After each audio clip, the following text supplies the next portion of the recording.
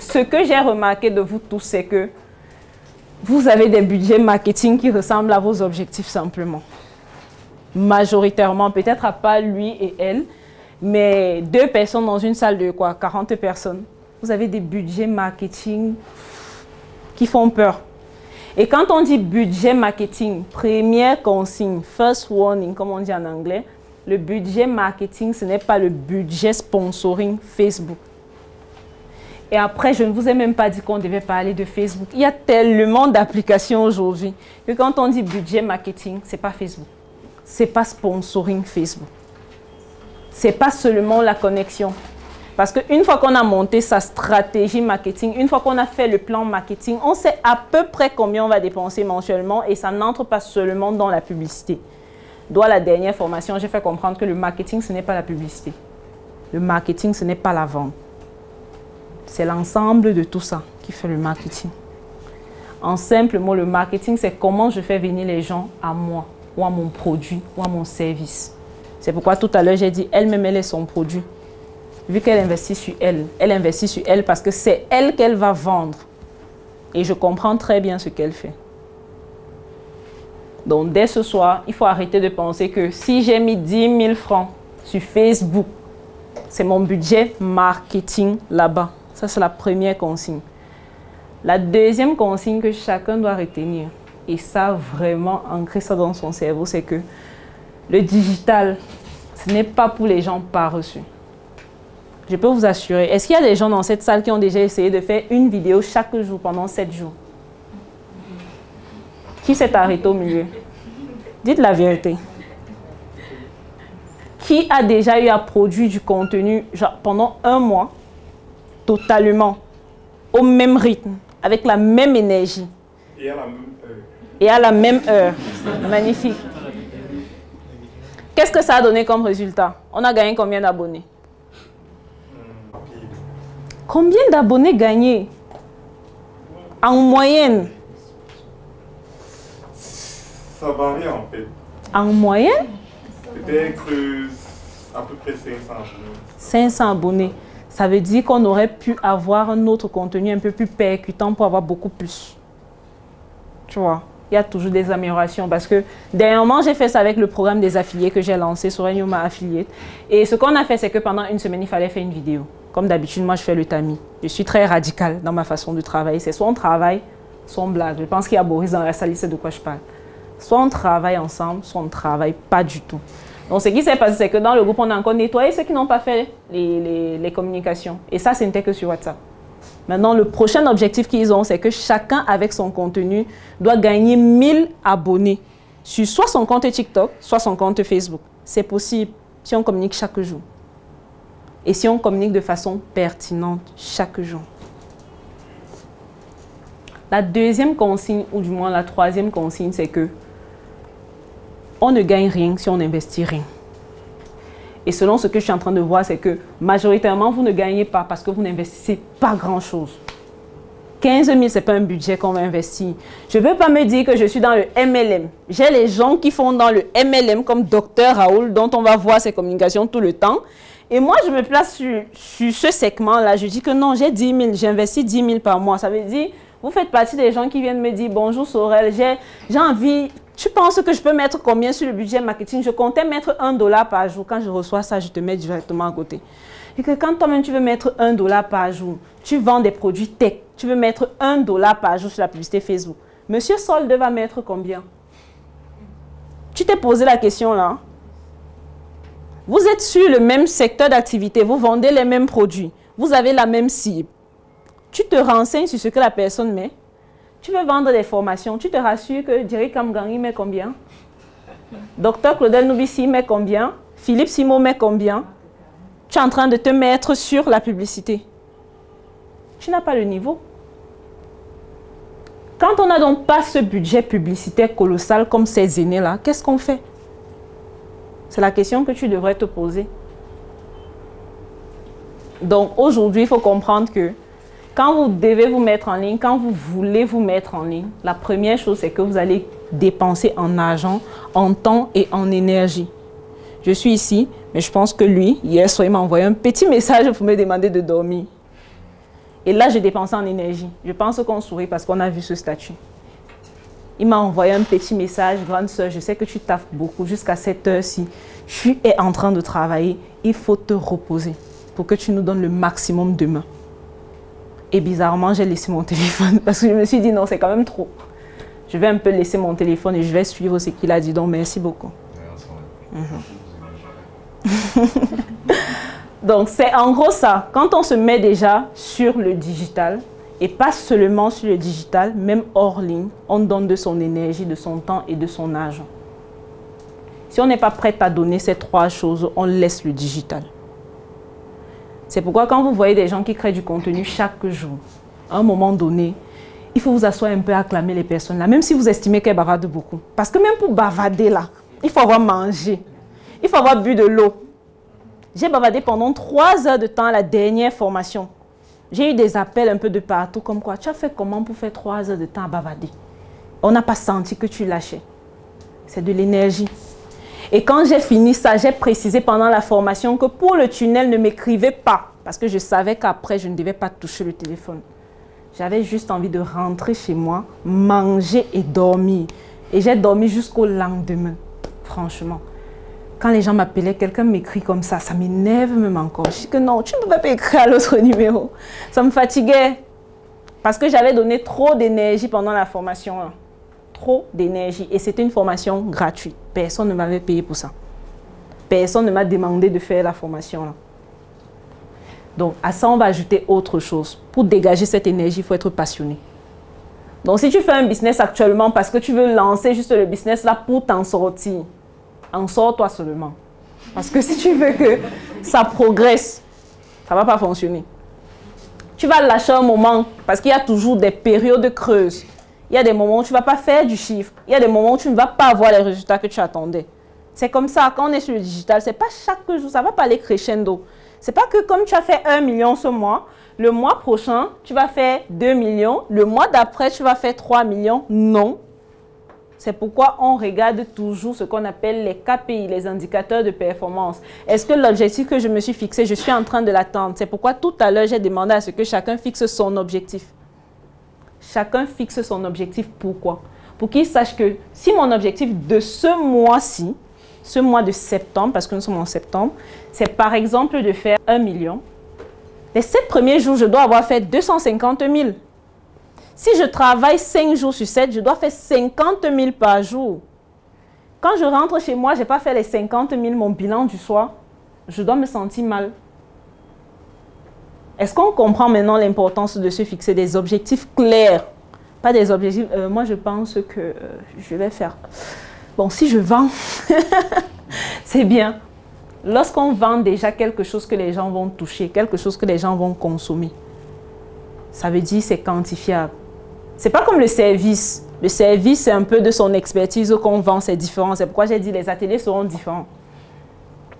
Mais si tu as un produit, j'ai un téléphone que je vends, j'ai deux téléphones que je vends, j'ai trois téléphones que je vends. Ce qui va simplement se passer, c'est que tu dois savoir le nombre de téléphones que tu dois vendre par mois, par semaine, par jour, peut-être même par heure pour certains produits.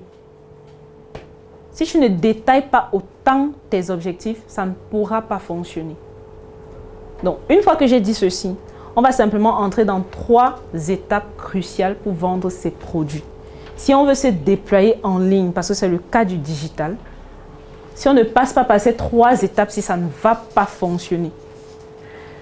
Donc, avant de commencer ça, je préfère préciser à chacun, les gens ne sont pas sur le digital pour acheter vos produits. Arrêtez d'harceler les gens ils ne sont pas sur le digital pour acheter vos services, pour ceux qui sont dans les services. Ils ne sont pas là pour vous. Les gens viennent premièrement sur le digital pour connecter avec leurs amis. À la base, on appelle ça social network. Network en anglais, c'est réseau. Et réseau, c'est connexion avec les personnes qui sont proches de nous à la base et des personnes susceptibles à être proches de nous demain ou après-demain. Donc les amis de nos amis. C'est ça qu'on appelle réseau social. Donc les gens viennent pour être en réseau, les gens viennent pour faire le japa, comme on dit au Cameroun, le Congo ça. Le commérage. Les gens viennent en ligne pour ça. C'est pourquoi lorsqu'il y a un buzz, lorsqu'il y a un bad buzz, nous tous on va aller se connecter, on va suivre. Parce qu'on est attiré par ça à la base. On ne sera pas intéressé par une sorelle qui est en train de faire une formation en marketing. Franchement, on n'a rien à faire. Le dernier buzz du coin, là, c'est quoi? Peuple vous a dit quoi? C'est là-bas qu'on part. On s'intéresse à ça. Est-ce que vous vous êtes posé des questions de savoir pourquoi est-ce que ce type de personne va beaucoup avoir des interactions et ça de façon organique? Moi, je dis toujours que si nous, je me considère déjà comme leader d'opinion, si on nous donnait la visibilité que certaines stars ont, ou alors que certains blogs ont, c'est que le chiffre d'affaires, franchement, on ne fait même plus les formations comme ça. On nous voit seulement à la télé. Parce que tu fais un petit post, tu as 2000 likes, 5000 likes, 15 000 likes. Tu es en train de parler d'un truc intellectuel. Où il y a 15 000 personnes qui ont liké. Ça veut dire qu'il y a combien de personnes en sous-marine qui vont venir te dire bonjour Sorel, j'ai vu ça. Est-ce que vous voyez un peu la différence? Donc ça s'explique d'avoir des statistiques pareilles sur ce type de page. Les gens viennent pour s'amuser, pour déstresser. Combien de personnes ici ont été salariés ou sont salariés ça veut dire que vous connaissez ce moment où on est dans le taxi en rentrant et on a juste envie de manipuler son téléphone. Moi, j'ai été salarié, c'est pourquoi je peux le dire.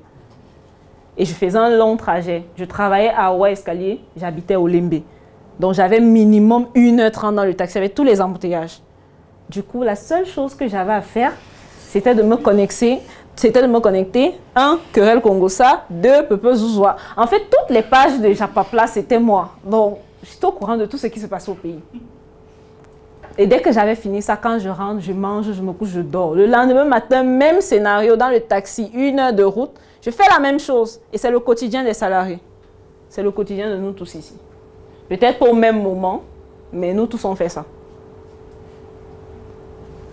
Donc c'est normal que ce type de page ait ça, parce que c'est déjà notre centre d'intérêt de base. Parfois on va se dire que non, les intellectuels, les ministres ne suivent pas le Japap. Attention, même les présidents suivent ça. Même les présidents suivent ça. Quand on est sur les réseaux sociaux, ce n'est pas que le sérieux. C'est pourquoi même dans le type de contenu que tu crées, tu dois penser à ça. L'autre jour, j'ai fait une vidéo parce que les Lions ont gagné. J'ai mis sur ma page, il y a quelqu'un qui est venu me dire que s'il te plaît, ne te distrais pas. Maintiens-toi dans le digital. Je me suis dit, mais après ça, j'ai une vie. Après ça, je suis camerounais. Je pense que je ne peux pas être déjà en train de cotiser pour mon billet d'avion pour la Côte d'Ivoire, pour encore aller les naguer sur place. tu crois que ça me laisse? Je suis camerounaise, donc au fond de moi, j'ai envie de faire ce type de contenu et ça s'explique, c'est normal. Même les plus sérieux, les gens qui vont toujours parler de, tech, des gens qui vont parler de médecine, des gens qui vont parler de politique, à un moment donné, si le pays gagne, ils vont un peu laisser, laisser ça à côté et parler du fait que voilà, on a gagné, on est en train de passer un autre step c'est toujours une fierté de valoriser son pays. Et c'était en quelque sorte ça. On m'a dit arrête de danser sur TikTok. D'accord. Je ne vais pas les écouter. Parce que de toutes les façons, c'est ma page, c'est mon contenu. Et je fais ce que. Bon, ça c'est une parenthèse. Pas que je fais ce que je veux. J'ai l'obligation de vous donner ce pourquoi je me suis engagée, simplement. Mais c'était simplement pour vous faire comprendre que quand on se met déjà sur le digital, on doit prendre en considération que les gens ne sont pas sur le digital pour venir acheter mes produits ou mes services. Donc la question que je devrais me poser, c'est comment est-ce que j'attire ces personnes qui sont prêtes à acheter mes produits ou mes services, bien qu'elles soient là pour se distraire? Ça veut dire que je dois à un moment donné être authentique. Je peux vendre les mèches comme tout le monde, mais ma façon de vendre les mèches est différente de tout le monde. Beaucoup de gens parlent de marketing digital en ligne. Je ne suis pas la meilleure community manager du monde. Je ne suis pas la meilleure social marketing manager du monde. Encore moins du Cameroun. Petite formation, community manager. Formation 50 000, je suis community manager. Je ne suis pas la meilleure, je préfère le dire. Mais ma façon de communiquer fait en sorte que, à travers l'énergie que je dégage, je me démarque de tous ces community managers, de tous ces social media managers. Simplement parce que je suis authentique. Et l'authenticité, ce n'est pas d'aller faire un dernier make-up ou quoi que ce soit. Qui m'a déjà vu en make-up ici? À part les photos professionnelles. Photos professionnelles, c'est obligé. Tu vas voir un daddy maçon, il va te dire que je vais venir avec ma maquilleuse, là tu vas faire comme ça. Et franchement, c'est tellement travaillé. On va te dire, baisse un peu le nez, fais comme ça, arrange-toi comme ça, sois sensuel. sensuel. c'est souvent ça avec les photos. Mais à un moment, tu as besoin d'avoir ce type de photo pour certains contenus. On va te demander ton image pour faire un flyer. Tu vas envoyer une photo où tu es en train de manger le poisson brisé. Tu as besoin de ce type de contenu, simplement. Mais ce n'est pas tout le temps. C'est pourquoi Instagram, c'est un peu l'application de renom pour faire ce type de contenu. C'est ce matin que moi j'ai créé Instagram. Jusque-là, moi je trouvais que ce réseau, je n'ai pas besoin de l'avoir. Parce que je me disais, c'est un réseau social fake. Tu manges, tu peux pas aller au restaurant manger, être rassasié. Tu vas stopper les gens. Ou alors tu vas sélectionner le restaurant, pourtant tu as faim. Parce que tu dois aller snapper. Franchement, ça, c'est pas la vie de Sorel. Sorel préfère manger, après on filme les os. on fait comprendre qu'on a déjà mangé. Ça, c'est Sorel, mais Sorel Yoma ne devrait pas être comme ça. C'est un peu ça, fatalement en ligne. Parce qu'après, on va se dire, elle a déjà une image. Ah, elle prend la moto. Ah, elle fait ceci. Mais je prends la moto, hein. attention. Il ne faut pas s'éloigner des objectifs. Donc, en gros, ce que je suis en train de dire, c'est que quand on se met déjà sur les réseaux sociaux, on aura beaucoup de pression. Parce qu'on sera en train de se dire, tout ce qu'on est en train de faire là maintenant, je ne gagne pas, je ne vends pas. C'est pourquoi je parlais de budget marketing. J'ai fait au moins six mois sur ma page, je ne vendais rien. Rien du tout. Là maintenant, vous levez les têtes. Je ne vendais rien. Fanel, dernièrement, il a dit qu'il a fait plus d'un an. Il ne vendait rien. Mais qu'est-ce qu'il a fait? Il passait le temps à faire quoi? Il investissait sur lui, sur sa communauté il mettait énormément d'argent dans le marketing parce qu'il y a des choses qu'on ne va pas voir. On ne va pas vous dire qu'on a acheté plusieurs micros. Le son a commencé à s'améliorer à tel moment parce qu'on est passé à un autre style de micro. C'est un budget qu'on met dans notre case marketing. On ne va pas vous dire qu'on a fait des t-shirts, on a raté le flocage, on a perdu de l'argent. On ne va pas vous dire ça, mais ça entre dans le budget marketing. On ne va pas vous dire qu'on a acheté des téléphones, ça a commencé à fonctionner, Quelques jours plus tard, ça c'est off. On ne va pas vous dire ça. Mais c'est ce qui se passe. Je parle de ce que j'ai vécu, de ce que je vis. Ça entre dans le budget marketing. Donc peut-être qu'on n'en parle pas, mais sachez que derrière les vidéos que vous voyez, derrière les flyers que vous voyez, il y a beaucoup de choses qui se passent. Généralement en temps, en argent et en énergie. Tu vas écrire un graphiste, il va te dire, ah, écris-moi demain. Ça, il va même pas te répondre. Et toi, tu as besoin du flyers aujourd'hui. Qu'est-ce que tu fais? Tu craques sur lui, vous gâtez la relation, et puis dans quelques mois, vous vous reparlez, mais après, ça va. C'est ce qui se passe. Nous, on a eu des clashs ici. Je ne vais pas vous mentir. Juste que ça ne part pas en ligne. C'est genre, je t'ai demandé le flyers, je t'ai demandé de modifier quelque chose sur le flyers tu as refusé parce que tu estimes que ce n'est pas intéressant. Mon flyer, tu estimes que ce n'est pas intéressant, pourtant je t'ai payé. Et du coup, tu craques. Je parle de ce que j'ai vécu. Donc, tu perds de l'argent pour quelque chose que tu n'utilises pas finalement. Ça fait mal, mais c'est de l'argent que tu as perdu. Si on regardait que non, aujourd'hui je n'ai pas vendu, ça ne peut pas compenser la perte là, on allait se heurter rapidement. Donc la première chose à noter lorsqu'on veut partir en ligne, lorsqu'on veut se déployer sur le digital, c'est que les gens doivent nous connaître. Donc quand je dis six mois sans vendre là, mon objectif c'était quoi? Se faire connaître.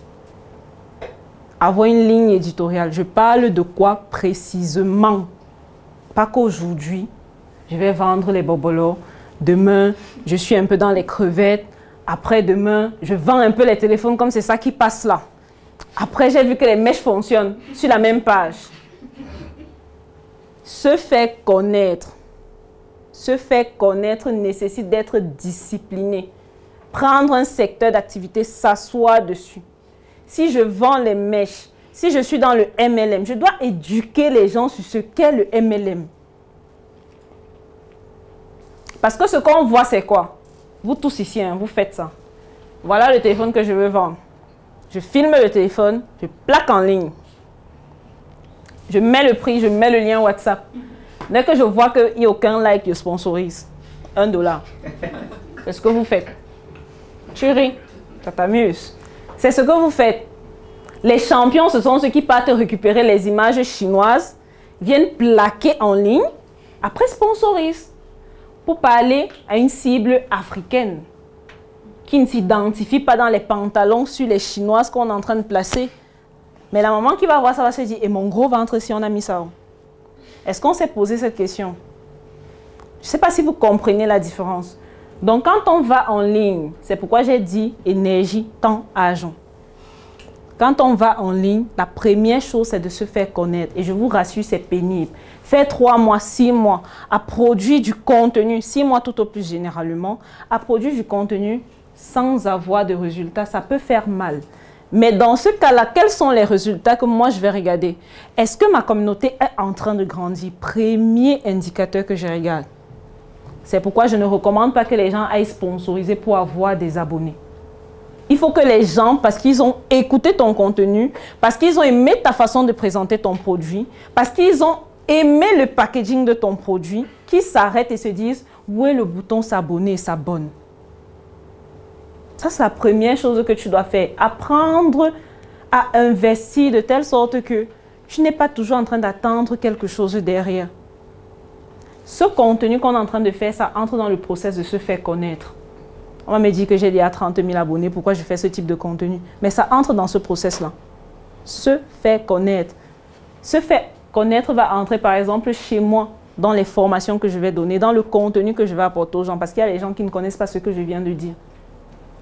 Ça entre dans se faire connaître. Quand je vends les produits, se faire connaître, ça sera quoi?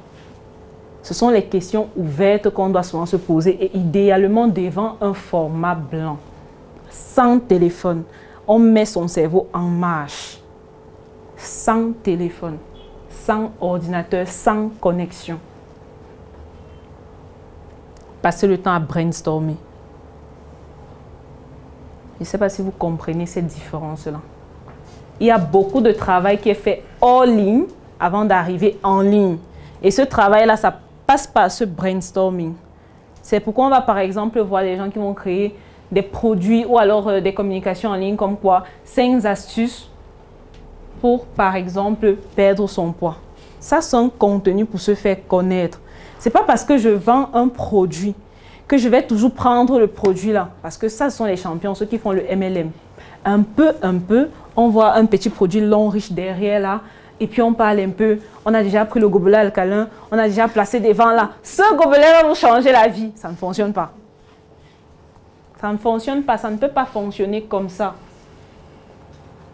Il faut d'abord éduquer la CIE. Nous sommes sur un continent où les gens ont besoin de comprendre réellement ce que vous faites. Les gens ont besoin de comprendre réellement ce que vous apportez. Comment est-ce que vous les aidez? Et comment est-ce que vous les aidez? Ce n'est pas une question qu'on répond d'un seul coup. Comment je vous aide? Je vous aide comme ça. Ce n'est pas une question qu'on répond d'un seul coup. C'est une question qu'on va répondre avec plusieurs contenus. Comment est-ce que j'aide les gens? On vient sur le digital pour servir les gens. Si c'est que tu décides de commercialiser un produit, c'est parce que ce produit va permettre à quelqu'un d'atteindre tel objectif qu'il s'est fixé. Si tu vends des produits agro, c'est peut-être parce que j'avais un creux. Et mon objectif, c'était de manger parce que j'avais un creux, de combler le creux. C'est pourquoi j'achète ton produit. Mon objectif peut-être avec des produits comme Joka, c'était de passer du bon temps avec mes amis devant un match. Ok, j'achète ça simplement pour le match des Lions. Tranquillement. Donc il faut bien comprendre comment est-ce qu'on aide les gens, comment est-ce qu'on les accompagne. Ça va orienter le type de contenu qu'on va produire. Vu qu'on parle de digital, en ligne c'est autre chose. Mais si on va aller en ligne, si on n'est pas prêt à produire du contenu, on laisse le digital. Si nous-mêmes, on ne peut pas produire, on finance quelqu'un qui va produire ce contenu et dont on est prêt à payer. C'est pourquoi j'ai dit argent. Soit l'énergie, soit l'argent, soit le temps. Du moins, les trois en même temps. Donc, quand on veut se faire connaître, on doit se poser la question, comment est-ce que je me fais connaître?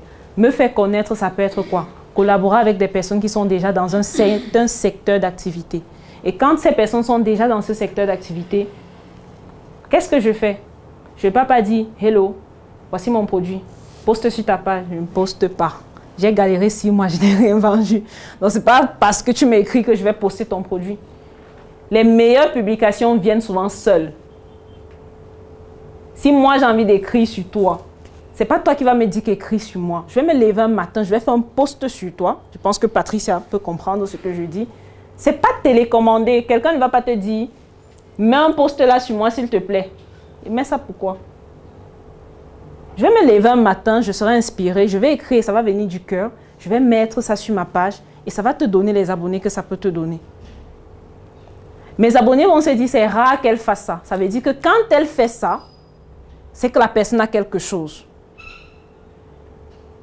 Donc, pour se faire connaître, il faut aller vers certaines personnes. Une autre démarche que nous on a pensé chez comme par exemple, c'est de faire des podcasts. On nous a dit qu'on investissait. L'objectif de faire la formation vendredi, c'était de faire une offre. Offre que les abonnés allaient payer. Et quand ils payent, on s'achète les derniers micros pour faire les podcasts dans cette salle. Et dans les podcasts, on invite quel type de personnes? Des personnes qui ont les communautés des personnes qui ont vraiment des abonnés. Ces entrepreneurs qui ont des entreprises physiques et qui ont des abonnés en ligne. Donc, quand on a fait ça, on fait le podcast, on passe sur les chaînes de ces entrepreneurs, ou du moins leur page. Ça fait qu'on gagne en visibilité. Ça fait qu'on se fait connaître. Parce que même si tu veux lancer ton podcast, chacun va se demander, mais qui est en train d'interviewer telle personne? La personne la sort d'où C'est qui? Sur leur page. Mais sur ta page, ta communauté va dire Waouh, tu marches avec tel. Parce que tu as marché avec tel que je suis aussi, je partage ton contenu et je garde. Ce qui va se passer, c'est que ses amis vont aussi voir qu'il écoute tel type de personne et il a partagé son contenu, il a gardé. Ça entre toujours dans la démarche de se faire connaître. Moi, je suis encore dans cette démarche. Et je serai toujours dans cette démarche. Donc il y a des actions que je vais poser parce que je veux me faire connaître. Qu'est-ce que je vends? Je vends des livres, je vends des formations, ce sont des produits. Je vends du consulting, peut-être ça entre dans les services, mais je vends quelque chose. Donc pour moi, me faire connaître, c'est important. Donc chacun de vous doit faire l'exercice de savoir comment est-ce que je me fais connaître. Et pour faire cet exercice, tu dois te connaître toi-même ne faut pas que les gens viennent découvrir que tu es une poubelle, que tu es pourri, que tu n'as rien offrir. Parce qu'on va se dire, pourquoi est-ce que je dis ça, pourtant vous vendez les produits Avant que les gens n'achètent le produit chez toi, si tu vends des vêtements, des chaussures, etc., il faut que toi-même tu incarnes le produit que tu es en train de commercialiser. Tu ne peux pas dire aux gens, achète ce produit si ça va enlever tes tâches. Toi-même, tu as les tâches. Tu ne peux pas dire ça aux gens. Donc il faut que toi-même tu incarnes ce produit que tu es en train de vouloir mettre sur le marché. Donc la vaste question c'est, qui est-ce que je suis? Parce qu'aujourd'hui, si je viens vous dire, ok, vous tous, mettez-vous sur Facebook, est-ce que Facebook vous convient réellement? C'est la question qu'il faut se poser. Est-ce que même s'il y a ma cible sur Facebook, c'est l'endroit où je devrais aller? Est-ce que ma cible n'est pas peut-être sur TikTok parce que je dégage plus d'énergie J'estime que voilà, c'est plus facile pour moi à manipuler. Je peux rapidement faire des contenus qui deviennent viraux là-bas en utilisant les challenges? Est-ce que ma cible n'est pas là-bas? C'est pourquoi il faut maîtriser toutes les plateformes. Je ne vais pas vous recommander d'aller sur Facebook parce que moi je suis sur Facebook, parce que je réussis à me bâtir une communauté sur Facebook. En fonction des réseaux sociaux, chacun a ses spécificités. Il y a ceux qui vont rapidement monter sur TikTok. Il y a ceux dont leur kiff, c'est YouTube. Trois vidéos par semaine, je suis peinard, ça va. Trois vidéos bien montées, ça me va. Il y a ceux qui sont plus sur Instagram. Dès que vous parlez de vos Facebook là, d'ailleurs, même il n'a même pas l'application là dans son téléphone. Il y a des gens comme ça. Et ça, ils le font parce qu'ils se connaissent. Ils se connaissent simplement. Si tu ne te connais pas, ça sera difficile que tu te fasses connaître. J'ai eu à faire certaines vidéos, le fait de ne pas dire bisous à la fin. Les gens demandaient ça dans les commentaires. Que mais tu es vraiment fâché, tu n'as pas dit bisous. mais ça, c'est parce qu'ils ont commencé à me connaître. Et ils savent que, par exemple, quand je finis une, euh, publication, je vais mettre à toi le game. Quelqu'un va venir te dire, mais tu n'as pas signé aujourd'hui. Pourquoi? Qu'est-ce qui se passe? C'est là que tu vas avoir des abonnés qui vont t'écrire, mais ça fait quelques jours que tu ne communiques pas. Tu es malade, qu'est-ce qui va? Qu'est-ce qui ne va pas? Ça, c'est parce que tu te connais Et tellement tu t'es fait connaître auprès des gens qu'on sait que d'habitude, Sorel poste par exemple à 7 heures. Ça fait trois jours, elle n'a pas posté. Est-ce que tout va bien dans sa vie? Tu peux avoir des abonnés qui sont prêts à arriver où tu es ou alors où tu as l'habitude d'aller, simplement pour savoir si c'est que quelque chose ne va pas dans ta vie. Si on a des amis qui font ça, sachez qu'il y a aussi des abonnés qui s'intéressent à ce qu'on fait. Ma dernière formation au Mérina Hotel, il y a un monsieur qui m'a envoyé 200 euros. Pour rien. Il m'a appelé, il m'a dit qu'il voulait participer. Je me suis dit non, ça c'est la drague. Je ne veux pas. Je ne veux pas d'aide. Après, j'ai dit non, on a tout fait. Après, il m'a rappelé, il m'a dit que je sais que tu vas peut-être trouver ça impoli, mais j'ai fait mon geste. J'avais envie de le faire parce que tu apportes beaucoup. Je me connecte, je vois que j'ai reçu l'argent. Je dis bon, ça va. Et ce que j'ai juste fait, c'est le roll-up de la dédicace du livre avec. Je me suis dit, bon, c'est vrai, je vais manger l'argent. On a déjà tout géré à l'hôtel. Mais le roll-up, là, je vais faire ça parce que ça vient d'un abonné. Et vous aurez des gens comme ça. Il y a des gens qui vont apprécier ce que vous faites. Ils sont juste sur votre page parce qu'ils aiment votre énergie. Ils ne sont pas intéressés par vos produits. Ils aiment ce que vous dégagez. Et c'est ce que vous dégagez qui vont faire en sorte qu'ils partagent vos publications. Parce que vous vous faites connaître à travers votre énergie. Ça, c'est la première chose. Donc, pour le premier point, je pense qu'on est bon. Maintenant, s'il faut embrayer sur le deuxième point, la deuxième chose, c'est vous faire aimer. On doit vous aimer. Sur le digital, on doit vous aimer. Les gens aiment leurs semblables et ils aiment les personnes qui les inspirent. Ce sont les deux catégories. J'aime la personne qui est comme moi. Oui, on galère. Je t'aime jusqu'à parce qu'on galère ensemble.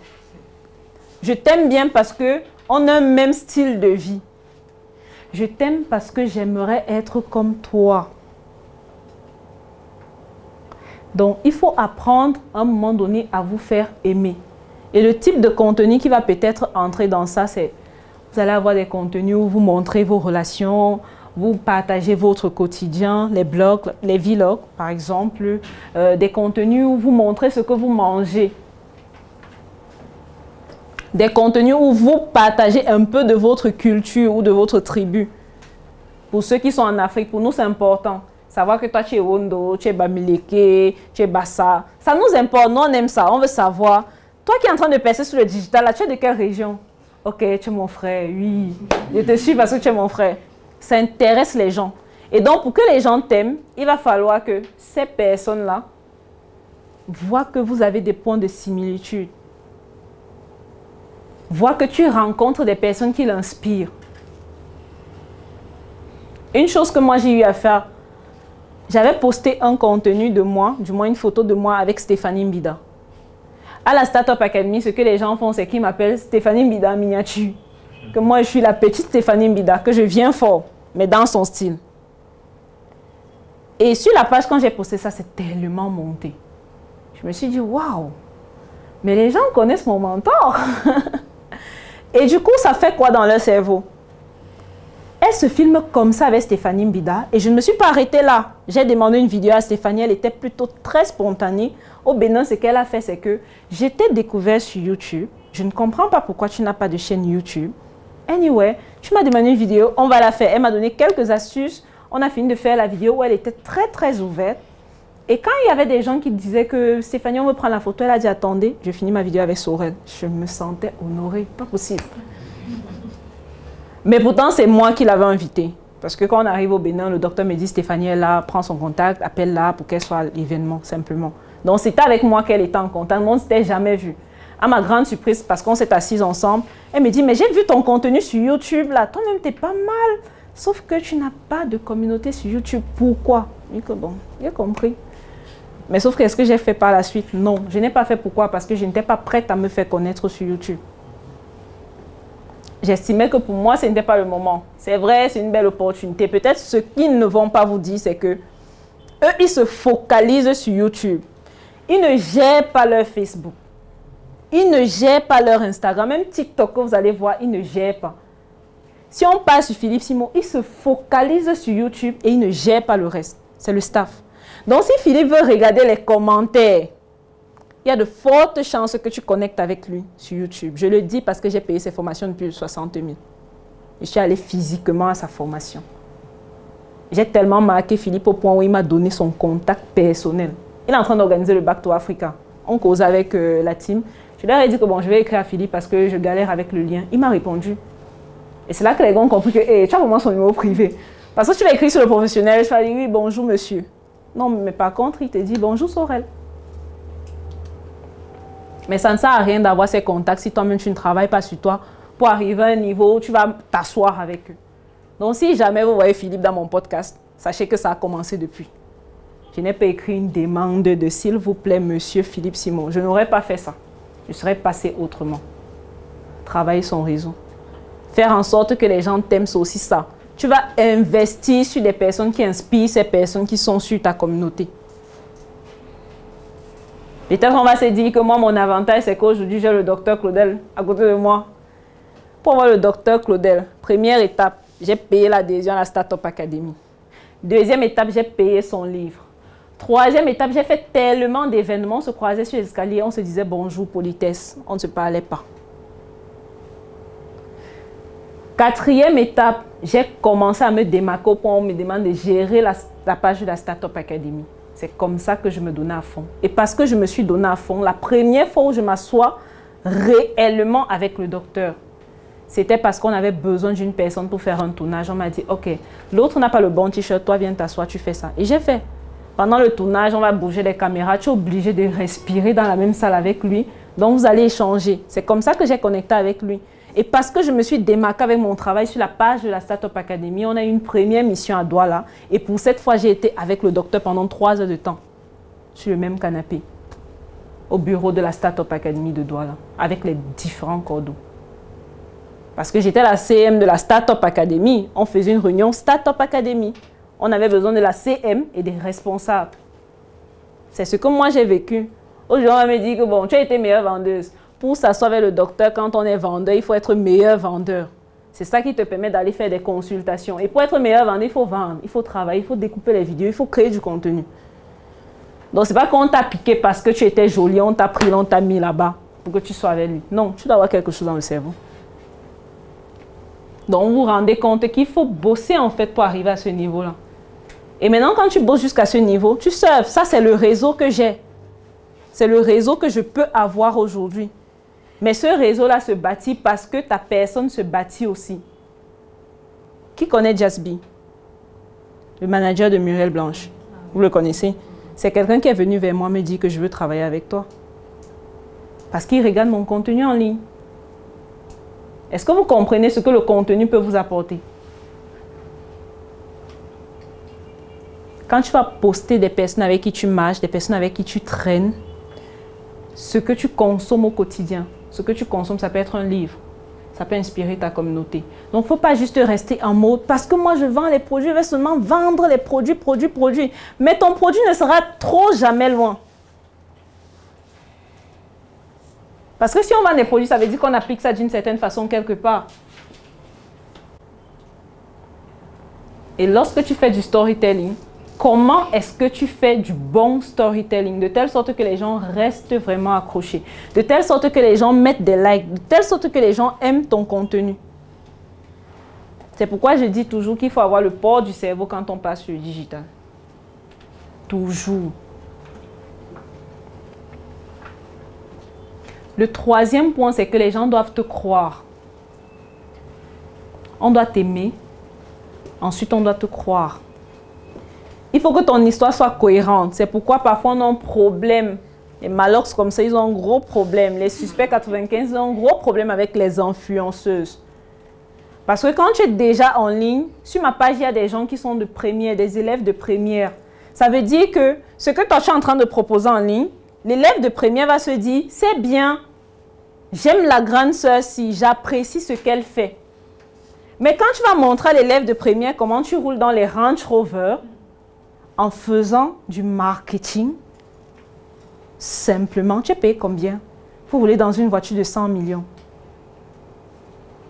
C'est la logique, c'est où ça se casse. Dangote est riche. Moi, on voit les camions Dangote partout.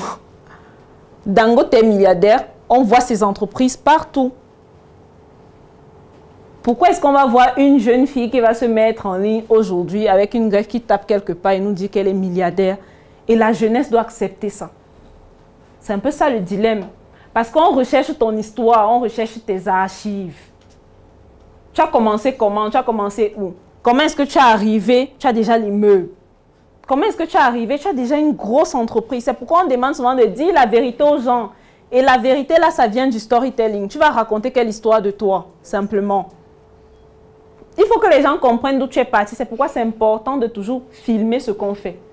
On ne vous demande pas d'être star, mais filmez vos débuts. Quand j'ai installé les caméras, j'ai pris le temps de me filmer. Donc, je peux dire à quelqu'un que quand je suis sortie de l'IAI en tant qu'ingénieur des travaux informatiques, j'ai installé les caméras dans les maisons des gens. C'est archivé. Je peux vous ressortir ma première vidéo que j'avais faite dans ma chambre. Sincèrement, je n'avais pas les cheveux. J'avais les cheveux taillés. C'était devant ma fenêtre. J'avais même pas le soutien. Parfois, j'ai envie de poser ça, je me dis non, on va m'insulter. Donc, mieux je laisse. Mais ce sont les archives, ça fait partie des archives. Ça fait que même si tu ne montres pas ça aux gens, toi-même, tu maintiens ta vérité. Parce que le pire, c'est souvent de ne pas soi-même accepter sa vérité. Donc, il y a les gens qui vont maquiller la vérité et vivre la vie d'une autre personne. Donc, quand tu parles des gens en ligne, il faut être toi-même. Et c'est tout ça qui sera le résultat pour que tu sois authentique. Sinon, tu vas toujours espérer vivre la vie des autres à travers le digital. L'autre vend par exemple les gadgets comme ça. Tu veux vendre les gadgets comme Monsieur Solde, tu ne connais pas comment il a commencé. Il faut qu'il t'explique très bien comment il a commencé à Kennedy, comment il fait pour avoir 4000 personnes qui regardent ses statuts WhatsApp, parce que c'est ça qui fait son chiffre d'affaires. Toi, tu vas te dire que non, c'est la belle boutique là, comme c'est placé en ville là, ça veut dire que les gens passent là-bas. Non, non, non, ce sont ses statuts qui font que les gens arrivent là-bas. Qu'est-ce qu'il faut alors que les gens restent? C'est sa personne. C'est sa vérité. Il a commencé comme un pâcheur à Kennedy. Il est monté progressivement. On a vu une boutique, on a vu deux boutiques. Il me parlait d'une troisième. Mais c'est ce parcours-là que les gens veulent voir. Parce qu'il y a des gens, rappelez-vous, qui ne vont pas acheter vos produits ni vos services. Il y a des gens qui sont juste fiers de me voir progresser. Aujourd'hui, je faisais un peu les gâteaux, c'était pas très bon. Je me suis améliorée, j'ai amélioré mon branding, je progresse. C'est ça qui intéresse les gens. Et quand je progresse, je ne dois pas me retrouver en train de faire les mêmes choses. Moi-même, je dois ressentir que je progresse. C'est pourquoi j'ai parlé du format blanc et le silo. Donc, si on ne respecte pas ces trois choses, ça ne va pas fonctionner en ligne.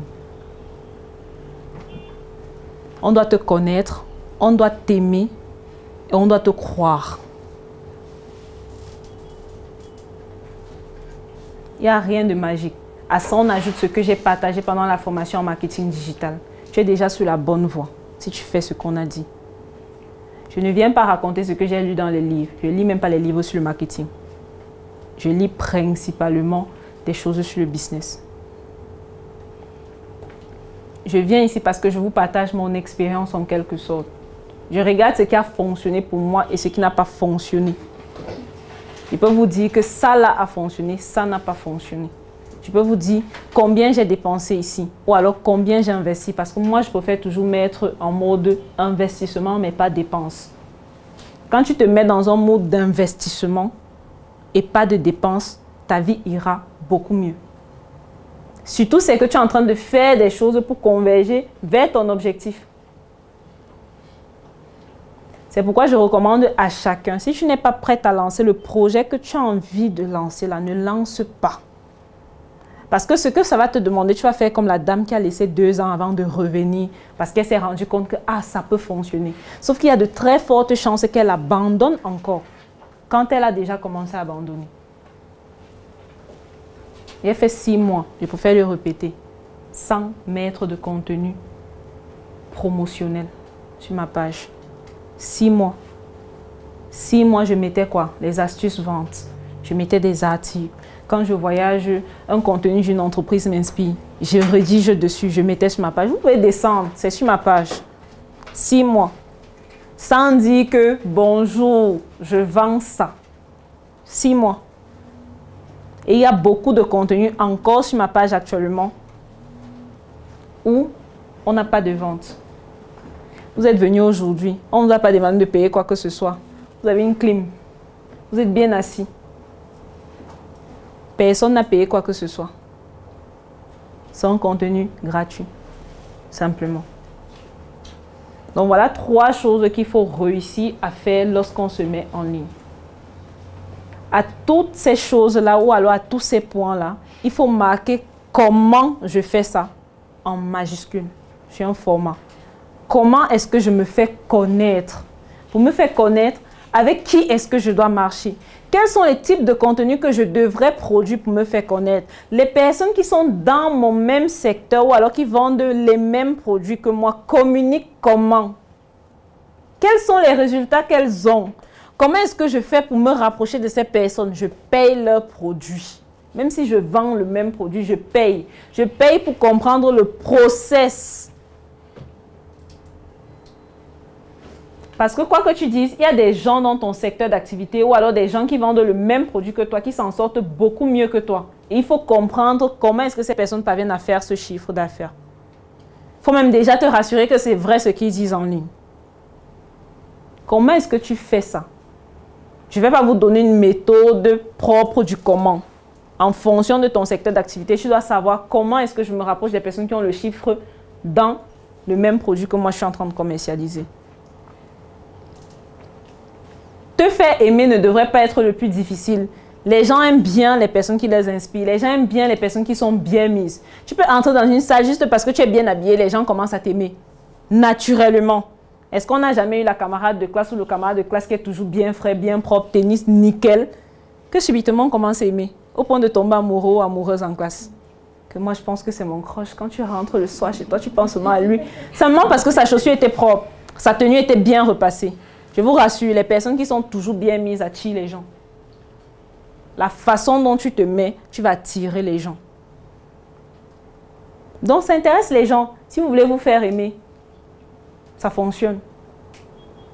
Partagez ce que tu fais au quotidien. Il ne faut pas toujours qu'on voit des contenus stricts la vente, contenus stricts là derrière ton bureau. Parfois, sors. Fais des choses dehors. Et je peux vous dire ça aujourd'hui parce que dernièrement, je suis partie en excursion je ne sais pas ce que je vais dire, je vivais un burn-out, mais j'étais fatiguée, je voulais vraiment voyager. Je suis rentrée de Garoua, je suis repartie au Noun. je suis partie faire le Mont Bapide, voir le musée de Fumban. Après, je suis partie au Petpenoun que je voulais visiter depuis. Et une fois là-bas, j'ai fait quatre vidéos la même matinée. Et toutes ces vidéos sont montées en ligne. Je marchais sur le site. Je faisais ma vidéo tranquillement. Petite routine, tu marches, tu as le téléphone devant toi. Aucun protocole, pas de lumière à modifier quelque part. Si on était de même côté que le soleil, anyway, ça prend seulement comme ça prend, mais tu es en train de marcher. Les gens aiment ce type de contenu. Parce que quand tu commences au contenu, tu dis Hello les gars, actuellement je suis au Petpenoun, je suis un peu venu me détendre et tout. La personne dit Ah, tu as pour les vacances J'ai un abonné qui est venu me dire que mais tu as l'argent au pont, tu es parti à l'excursion là, qui coûtait telle somme. Je dis Waouh, tu m'espionnes. Mais ça démontre que la personne t'aime bien. Il est parti chercher. Il a trouvé ce que tu as à faire pour bénéficier de ça. Il s'est dit, waouh. Mais au-delà de ça, il s'est dit, mais c'était l'excursion. Ça veut dire qu'elle a rencontré d'autres personnes là-bas. Et comme elle a rencontré d'autres personnes, ça a créé de nouvelles relations. Là-bas, j'ai rencontré une autre qui fait les milliardises. Elle a une très belle communauté sur TikTok. Elle communique tellement bien. On connaît tous Dog Bidi parce qu'on mange. C'est l'une des amies de Dog Midi, les délices de Milly. Vous la connaissez. Mais c'était vraiment ma meilleure euh, rencontre là-bas. J'ai tellement aimé son énergie. Elle passait le temps à nous filmer et pas se filmer. Elle a même fini le voyage en train d'être malade. Mais j'ai vraiment, vraiment aimé son énergie. Donc des choses comme ça, ça te permet aussi de rencontrer des personnes, de sortir de ton cocon. Mais sauf que ce qu'on ne vous dit pas, c'est que ce type d'endroit, ça te permet d'être créative tu vas produire un très bon contenu. L'une des astuces, quand tu sais que tu bloques, peut-être une astuce sur la création de contenu, fais le ménage chez toi. Aussi banal que ça, fais le ménage. Si tu sens que tu n'es pas créatif, si tu sens que tu as un poids lourd sur toi, si tu sens que tu n'es pas dans ton mood, Prends le balai, la serpillère, fais le ménage. Tes habits que tu ne portes plus, dégage tout ça, partage. Sois même fier de dire que ah, j'ai gardé des habits pour toi, tu remets. Fais le ménage. Avant-hier, j'ai fait ça. Je me sentais bloquée. J'ai dégagé mes habits. Majoritairement, j'ai partagé.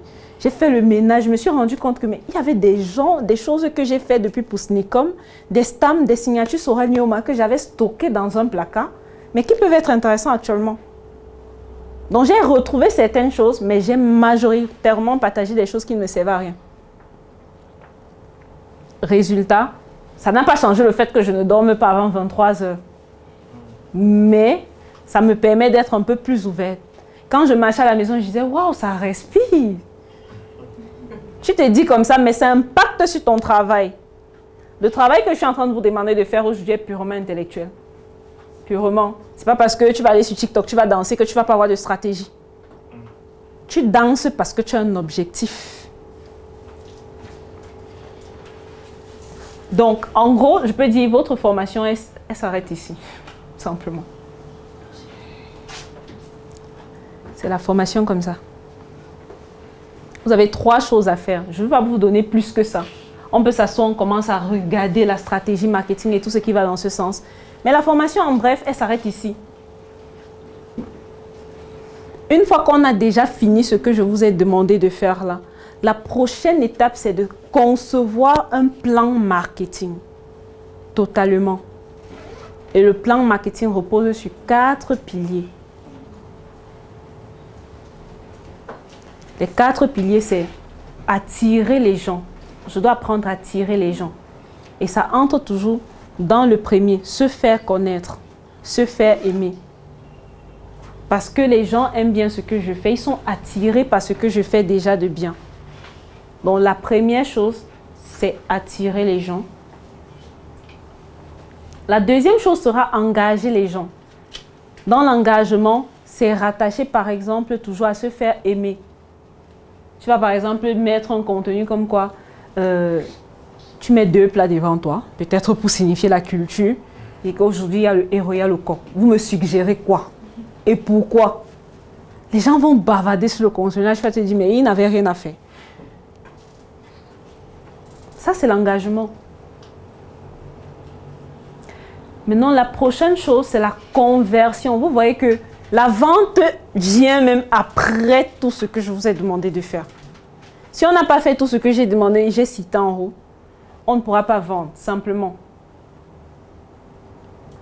Et ensuite, la fidélisation. Beaucoup ici parlaient de chiffre d'affaires. J'ai fait un chiffre d'affaires maximal de 600 000. Aujourd'hui, je suis revenu à 200 000. Pourquoi est-ce que tu es revenu à 200 000 Est-ce que le produit que tu vends là, les gens n'ont pas besoin de ça chaque jour? Est-ce que les gens qui ont acheté ça ne peuvent pas te recommander? Ça veut dire qu'il y a un problème au niveau de la fidélisation. Parce que quelqu'un doit acheter ton produit au point où il recommande ça aux gens. Ils disent que bon, j'avais consommé le produit de Sorel là, ça m'a aidé. Je pense que ça peut t'aider, toi mon ami. Voilà le numéro de Sorel, contacte Sorel. Ceux qui font dans le MLM par exemple des produits, ce sont principalement des produits à usage quotidien. Des déodorants, des savons de toilette, tu dois connaître le temps d'usage de ton produit. Si quelqu'un achète le savon aujourd'hui, il est susceptible de racheter un deuxième savon à quelle date? Ça doit être mentionné dans un fichier, dans ta base de données en ligne. La personne là pourra revenir quand? Ou alors je peux retourner vers la personne là quand?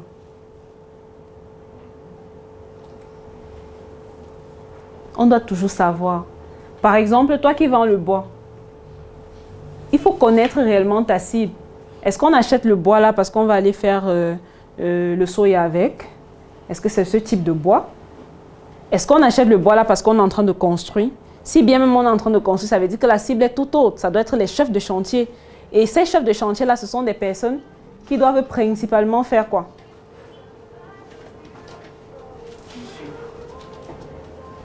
Attention, Pardon? Ils commandent, le livre. Ils commandent, le livre. Ça veut dire que tu vas tout le temps rester sur place en train d'attendre que la personne commande et se fait livrer. Aller vers eux, c'est ça? Oui. Tu devrais aller vers eux. C'est pourquoi j'ai demandé la cible. La cible, c'est qui principalement? Oui, Justement, ce sont les chefs chantiers. Il faut aller vers eux. Aller vers eux, nouer des partenariats avec eux. Une fois que j'ai dit ça, voilà quatre étapes par lesquelles on passe pour le plan marketing. Simplement. Donc, tout de suite, ce qu'on va faire, c'est que je sais que vous avez des questions. Et l'objectif de faire une formation, c'est de répondre aux questions précises des personnes. Parce que c'est ça votre formation. Donc, on va changer le dispositif. Et ce qu'on va juste faire, c'est que chacun va noter sa question ultime. Ne me posez pas les questions sur comment vous faites pour vous faire connaître. Je ne vais pas vous donner l'astuce. Parce que ça fera office d'une autre consultation. Posez-moi des questions profondes par rapport à vos activités. J'ai besoin de ces, de papillons. Ici, vous avez des papillons. C'est petit. Là, d'aller l'essentiel. C'est petit et c'est pas formé de façon carrée où on va écrire beaucoup de choses.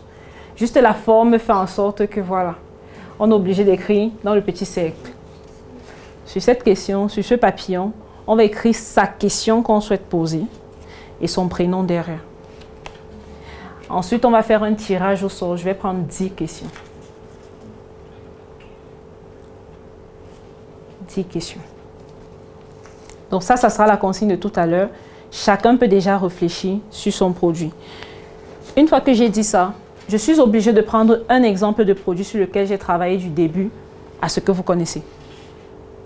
Le produit là, c'est tout simplement Njoka. Si on doit prendre l'exemple de se faire connaître en tant que Njoka, c'est un produit, n'est-ce pas? Avant même de lancer le produit, on s'est dit, nous sommes un groupe d'investisseurs, parce que je suis investisseur dans ce projet. Nous sommes un groupe d'investisseurs, on veut mettre sur pied un produit, on veut mettre sur pied un projet. Quel est le projet qu'on peut facilement mettre sans mot de tête en Afrique? Bon, qu'est-ce que les Africains consomment déjà très bien? Surtout, qu'est-ce que les Africains de la diaspora aimeraient consommer qui ne consomment pas là-bas? J'espère que là, on voit déjà la cible. Ça veut dire on ne fait pas les chips de Boumniebel. On veut exporter nos chips. Mais au-delà de ça, qu'est-ce qui nous anime? On a envie de faire comprendre aux Occidentaux et au reste du monde que les Africains peuvent fabriquer un produit excellent. Faire parler des Africains qui peuvent aussi faire de bonnes choses. Ça, c'était l'objectif de Njoka et ça reste l'objectif de Njoka. Pour se faire connaître, c'est pourquoi peut-être sur l'une des vidéos, on a fait comprendre que Njoka n'est pas né comme ça. Njoka n'a pas commencé à se vendre comme ça. Joka est rattaché sur des communautés. Des communautés qui sont nées derrière des formations, des consultations marketing, des adhésions dans des groupes. Donc ces communautés étaient déjà au courant du projet. Comment? Dans se faire connaître, on a le projet, on a fait l'AG, on travaille sur le logo, on travaille sur les couleurs du logo, on montre déjà ce logo aux communautés, donc en interne, avant d'aller sur Facebook. La communauté est déjà au courant de ça. Quelques mois plus tard, toujours en retouchant le logo, ça sort. On a déjà atteint l'objectif de se faire connaître. Parce qu'en interne, beaucoup savent déjà que ça vient.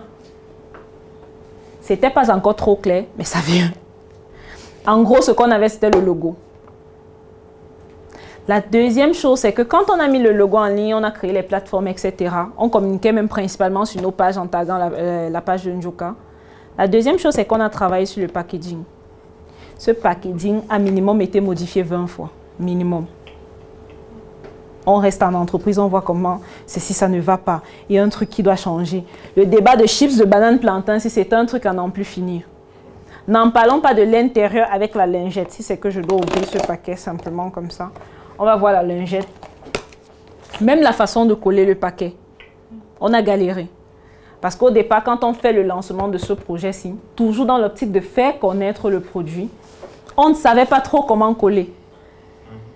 Et pour la petite anecdote, ce qu'on avait fait, c'est que, comme on ne maîtrisait pas le truc, on lançait l'industrie. On a essayé plusieurs méthodes au point où on a cherché le sable, on a mis à l'intérieur d'un carton pour voir comment stabiliser ça debout et essayer de le coller avant de se rendre compte que c'était une bêtise. On a tellement mal collé le carton au point où quand tu ouvrais, ça se déchirait une fois. Si on regarde l'une des vidéos du docteur en ligne, ce qu'il disait, c'est que On ouvrir le carton de telle sorte que ça se déchire. C'était une balle perdue pour Daryl et moi. Le directeur général et moi. Parce qu'on avait collé au pont. Quand les gens ouvraient, ça, ça ne faisait pas comme ce que je viens de faire. Ça se déchirait complètement.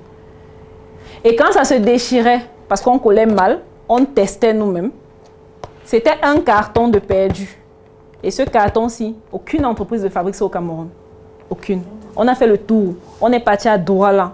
Je peux vous citer les entreprises. Ils nous disaient que bon, non, on ne peut pas faire comme ça, mais on peut faire comme ça. On disait qu'on veut ça comme ça. Comme tu as vu là, c'est ça. Ce n'est pas ce que tu penses. C'est ce qui s'est passé avec le produit. Juste pour faire connaître. Pour faire connaître encore, pour aller plus loin, on a commencé à éduquer les gens sur les plantains, les types de plantains, les types d'huile. Complètement sur la communication. On avait tellement de contenu dans ce sens. On a fait tellement de vidéos de formation ici sans le produit à l'intérieur. Tout ce qu'on avait, c'était le packaging. On faisait une vidéo, parfois on avait déjà ouvert même le produit, mais on tenait le carton de telle sorte que quand toi tu regardes la vidéo, tout ce que tu vois, c'est ça. On présente la vidéo comme ça, mais c'est déjà ouvert. On a déjà mangé les chips. mais ça sont des stratégies pour faire connaître le produit. Tellement de vidéos. Ça adossé sur une communauté ces communautés-là, si on prend la page de Njoka, si quelqu'un vient maintenant, il dit que bon, je veux lancer des chips, il y a une marque là, Njoka, ils ont 9000 abonnés, il part, il regarde ce que Njoka fait. Il va vraiment aller à côté de la plaque. Parce que ce n'est pas Njoka là-bas. C'est la page officielle de Njoka. Mais Njoka, c'est une grosse communauté derrière qui communique sur la même chose.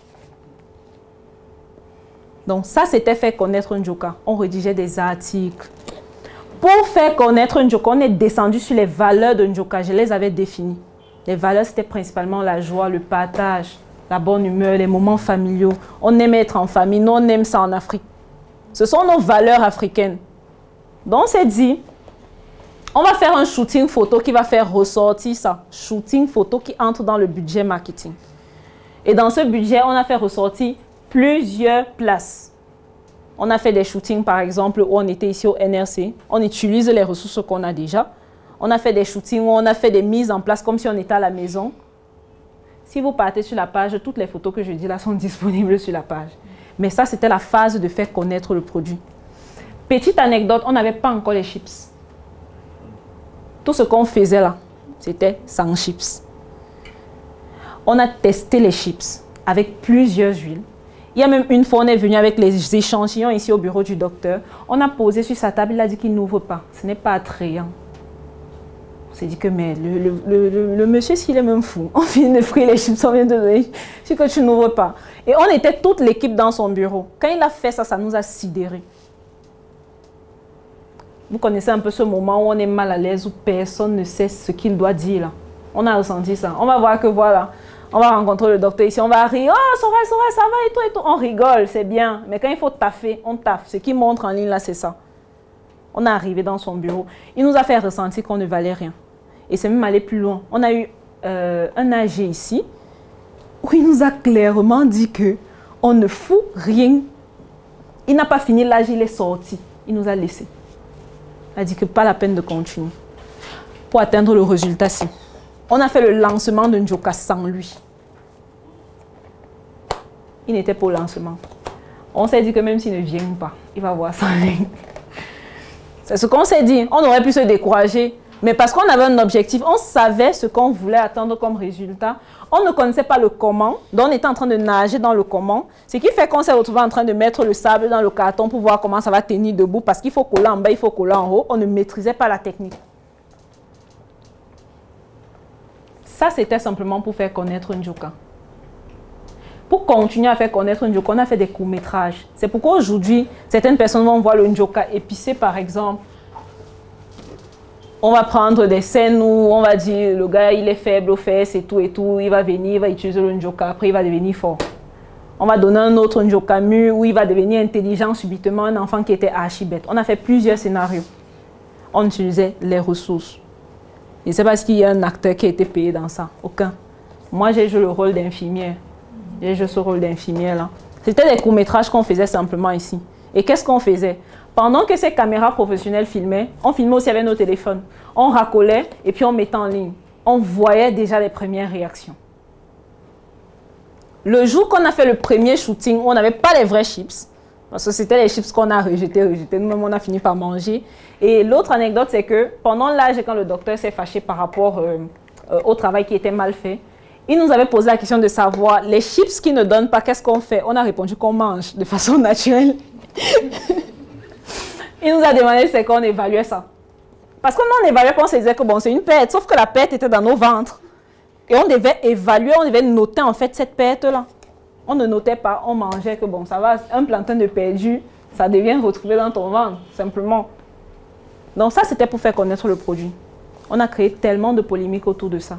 Le jour qu'on a lancé euh, le, shooting photo, on a fait d'autres photos avec nos téléphones professionnels. Le même jour, on a fait une vidéo. La vidéo là, est tellement devenue virale, le corps du Christ. La campagne du corps du Christ. Ce contenu était polarisant. Et c'est ce contenu qui a vraiment fait connaître Njoka. Polarisant. Parce que les gens se disaient, oh, vous tirez sur Dieu, etc. Les enfants, s'ils ne savent même pas prendre la communion. D'autres disaient que, waouh, waouh, vous avez fait ça. Parce qu'en fait, quand tu étais plus petit, tu te disais, je ne prends pas encore la communion. Mais dès qu'on ferait les chips à la maison, toi, tu découpes en rondelles. Moi, j'ai fait ça. Du coup, chaque fois que je mangeais, je disais seulement le corps du Christ. En attendant que je, je vais prendre la communion. Et c'était ça, en fait, que moi, j'ai voulu faire ressortir à travers ce contenu. On s'est dit, on va faire ça de façon professionnelle avec la soutane. Après, on reste comme ça à l'hôtel de ville. On dit que waouh, on va lancer le truc là maintenant. Et c'est ce qu'on a fait. On a lancé ça là-bas sur place à l'hôtel de ville. Les gens se plaignaient déjà. Quand on a vu ça, on dit que mais on n'a même pas encore montré au peuple, vous vous bavardez. Le même soir, le docteur posté ça sur sa page. Quand je pas les commentaires, ça tirait fort sur nous. Jusqu'à mes proches m'ont écrit que tu fais quel genre de contenu? Je suis baptisée catholique. Donc, heureusement que ce n'est pas arrivé chez ma mère. Heureusement. Donc, ça ne passait pas nécessairement. Ça fait en sorte que certaines personnes se déconnectent totalement des pages et que d'autres personnes s'abonnent. Donc, si vous voulez vous faire connaître, une autre astuce, c'est qu'il faut créer des contenus polarisants. Il ne faut pas que vous ayez toujours des contenus où tout le monde est d'accord avec vous. Même si vous vendez des produits. Même si vous vendez des produits. Il ne faut pas qu'on vous dise tout le temps merci. Il faut qu'à un moment donné, des gens viennent vous dire Sorel, tu as raison, les gens s'y énervent depuis, tu as bien fait d'en parler. D'autres viennent dire que tu te prends même pour qui tu as fait quoi on a vu. Il faut avoir ce type de contenu. Si vous voulez vous faire connaître, ça c'est ce qu'on refuse de dire. Quand vous allez vous faire connaître, on va tirer sur vous. On va prendre votre photo où vous étiez un peu bizarre. C'est ça qu'on va aller faire le collage avec. On va dire que voici l'individu qui dit aux gens que. On va faire des articles sur vous. C'est le prix à payer lorsque tu veux te faire connaître sur le digital. C'est pourquoi j'ai dit, si tu n'as pas l'énergie, si tu n'as pas le mental, ne pars pas là-bas. Parce que plus tu vas faire du contenu, plus on te découvre, toutes les personnes qui sont abonnées sur ta page ne t'aiment pas. J'espère que c'est clair. Certaines personnes seront simplement là pour mieux te suivre. Et c'est comme ça que j'ai enlevé tous les espions. Mais il y en a encore. Parce que ça ne va jamais finir. Les espions sont prêts à tout faire pour te suivre jusqu'à la gare. Ils sont juste contents de t'espionner. Hein. D'autres personnes vont t'espionner au point ils vont devenir tes meilleurs amis. Et tu auras l'impression que, oui, tu vends des produits, tu fais déjà un certain chiffre d'affaires. Tu crois que ça n'intéresse pas tes voisins. Quand j'avais créé mon groupe Telegram, ça c'est l'une des choses qui m'avait un peu fait rire. J'ai créé mon groupe Telegram. Plus tard, un autre jour, je me balade comme ça. Je constate que le docteur Claudel Noubissi est dans mon groupe. Il dit que, mais toi, tu viens faire quoi dans mon groupe? Et il est entré avec son numéro orange. J'ai oublié que c'était son numéro Telegram. J'ai que le père, s'il vient faire quoi dans mon groupe? Est-ce qu'il va prendre le marketing digital? Est-ce qu'il veut mieux comprendre ce que je fais? Peut-être pour mieux m'orienter. Mais ça, c'était l'un des facteurs qui a fait en sorte que je me décourage à créer du contenu régulièrement là-bas. Parce qu'en même temps, j'avais des objectifs ailleurs. On y va me voir là-bas poster chaque jour. Pourtant, maintenant ailleurs. Je me suis dit, hum, hum, c'est pas bon geste j'ai arrêté de communiquer là-bas. Donc, quand tu te fais connaître, il y a plusieurs choses qui vont arriver. Se faire aimer, il faut que ton produit soit bon. Première étape. Quand tu prends par exemple une Joka, Le fait qu'on ait fait plusieurs scènes, on disait aux gens qu'il faut laver vos mains. Que par exemple, les microbes qui sont sur les mains dépassent les microbes qui sont sur les toilettes. Tu restes comme ça. Je dis que, mais il parle lui-même de quoi? Après, tu vas dire que ça, c'est mon gars sûr. Tu vas bien aimer ça. Donc, quelqu'un va se dire, ah, le produit, il est top. On t'explique le process. Donc, en te faisant aimer le produit, on te fait croire au produit. On t'explique le process de fabrication. Au début, Njoka n'avait pas pensé à cette lingette. Mais c'est parce que Njoka a dossé sur une communauté que quelqu'un a proposé dans le groupe. On a pris ça, on a embelli, on a mis l'idée dedans. Ce n'était pas prévu. Donc, on a bien fait la lingette, on a bien designé ça. Cette histoire de, de Le Mans, parfois Le Mans. Les gens étaient en train de, de c'est le citron, c'est le Le Mans, bref, les débats à plus de 23 heures minuit sur il faut mettre citron. Non, là-bas c'est le citron, ici c'est le lemon. Je t'explique ce que veut dire le lemon. Tu vas comprendre ce que veut dire le citron. Ça c'est un joker. Ce sont les débats là ici. Mais quand toi tu vas voir le produit, quand on va te dire 1500, tu vas dire ah c'est cher. Une autre personne, la vraie cible, quand on va dire 1500, il va dire waouh. En Europe, euh... vous voyez que c'est différent. Après, il y a simplement le packaging à l'intérieur où on va retrouver ces chips brandés. Donc, ça c'est pour le produit. Faire connaître, faire aimer. Faire aimer, c'est aussi faire des comparaisons entre les chips de Boom Bell et ce produit. Pour que les gens comprennent que, OK, en Afrique, nous aussi, on peut faire des chips qui viennent, par exemple, comme des chips qui viennent de la France ou de l'Europe. Simplement avec ce que nous, on a. On a le plantain toute l'année. Eux, ils n'ont pas le plantain toute l'année. Donc, on peut faire avec le plantain simplement. Et puis on surfe vraiment sur les buzz pour se faire connaître encore et se faire aimer. On passe se faire aimer auprès de la communauté de Malox qui, suivait, euh, qui a subi un buzz pas possible avec sa femme. On tirait sur sa femme, on tirait sur lui en ligne. C'est à cette période-là que nous nous sommes partis manger les njoka chez Malox. Donc en même temps, il y a le buzz sur lui, en même temps, toute la toile tire sur lui, en même temps, non pas où il y a le buzz. Parce que quand on va voir sur la table, on va voir un. On suivait le buzz. On part où il y a la tension, simplement. On suivait le buzz. Donc ça, ce sont aussi les actions qu'on pose. Maintenant, pour croire au produit, c'est simplement ce que je viens de vous faire, euh, de vous raconter, de vous expliquer. Peut-être toutes les arrières de caméra que vous ne connaissiez pas. Le fait qu'on vient avec les chips, on rejette les chips. Le fait qu'on nous dise que ça n'a pas la couleur des chips qu'on va avoir, c'est pas, c'est pas esthétique le fait que, voilà, on fasse les débats à 23 heures sur le, le Monde, le fait qu'on mette le sable dans le carton pour le placer debout comme ça et voir que ça ne tombe pas. Ce sont des expériences qu'on a testées. Et ça, ça fait partie de Njoka. Simplement, pour un produit qu'on a mis sur le marché. Comme on le dit souvent, le produit ou le service que tu vends, cet atelier, c'est sur le produit. Le produit que tu vends te ressemble. Si ton produit est bizarre, je te laisse compléter. Si tu as un bon produit, ça reflète qui tu es. Et ce n'est pas toi qui dis que tu as un bon produit. Attention, ce n'est pas toi. Parce que sinon, nous tous, on a des merveilleux produits sur le marché. Ce sont ceux qui consomment qui te disent que ton produit est bon. D'où tu dois avoir des retours. Si tu as tout le temps des clients dormants, ce n'est pas bon il y a des gens qui doivent te faire des retours par rapport à ce que tu fais. Donc, ce sont des gens qui doivent te dire que ton produit que tu es en train de proposer est excellent. Simplement. Ça ne doit pas venir de toi. La preuve, ce produit-ci est en rupture actuellement, mais j'ai trois paquets. Je roule avec dans la voiture. Et je peux faire monter les enchères rapidement. Parce que c'est rare et les gens demandent. L'offre et la demande, non, qui n'a pas fait économie ici? En plus les gens demandent et il n'y a pas le produit, plus la valeur augmente. Et donc je peux vendre ça cher. Parce que les gens appellent pour savoir, je veux le Njoka, est-ce qu'on peut livrer? D'accord monsieur, c'est 2500 au lieu de 1500. Parce que c'est en rupture. Ça, c'est une possibilité.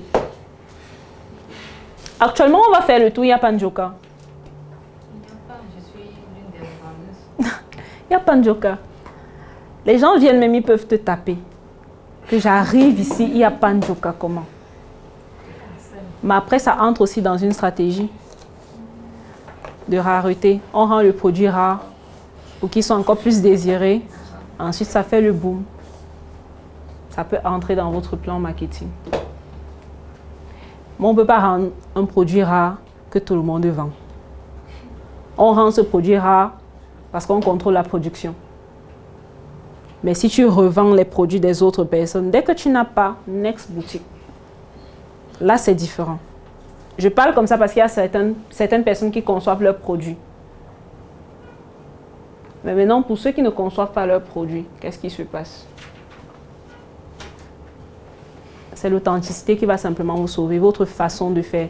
Au point où la personne va dire que, ok, comme tu n'as pas maintenant, je vais revenir quand tu auras. Oui, ou la personne laisse son agent pour venir prendre après des réservations. Donc, voilà un cas pratique que j'ai pris d'un produit qui se vend sur le marché, ou peut-être dans ma voiture actuellement, euh, que vous pouvez prendre comme exemple. Si vous avez bien retenu ce que j'ai dit sur ce produit, j'ai parlé de communauté. La communauté adossée derrière ce produit est très importante et cette communauté ne s'est pas bâtie en une semaine.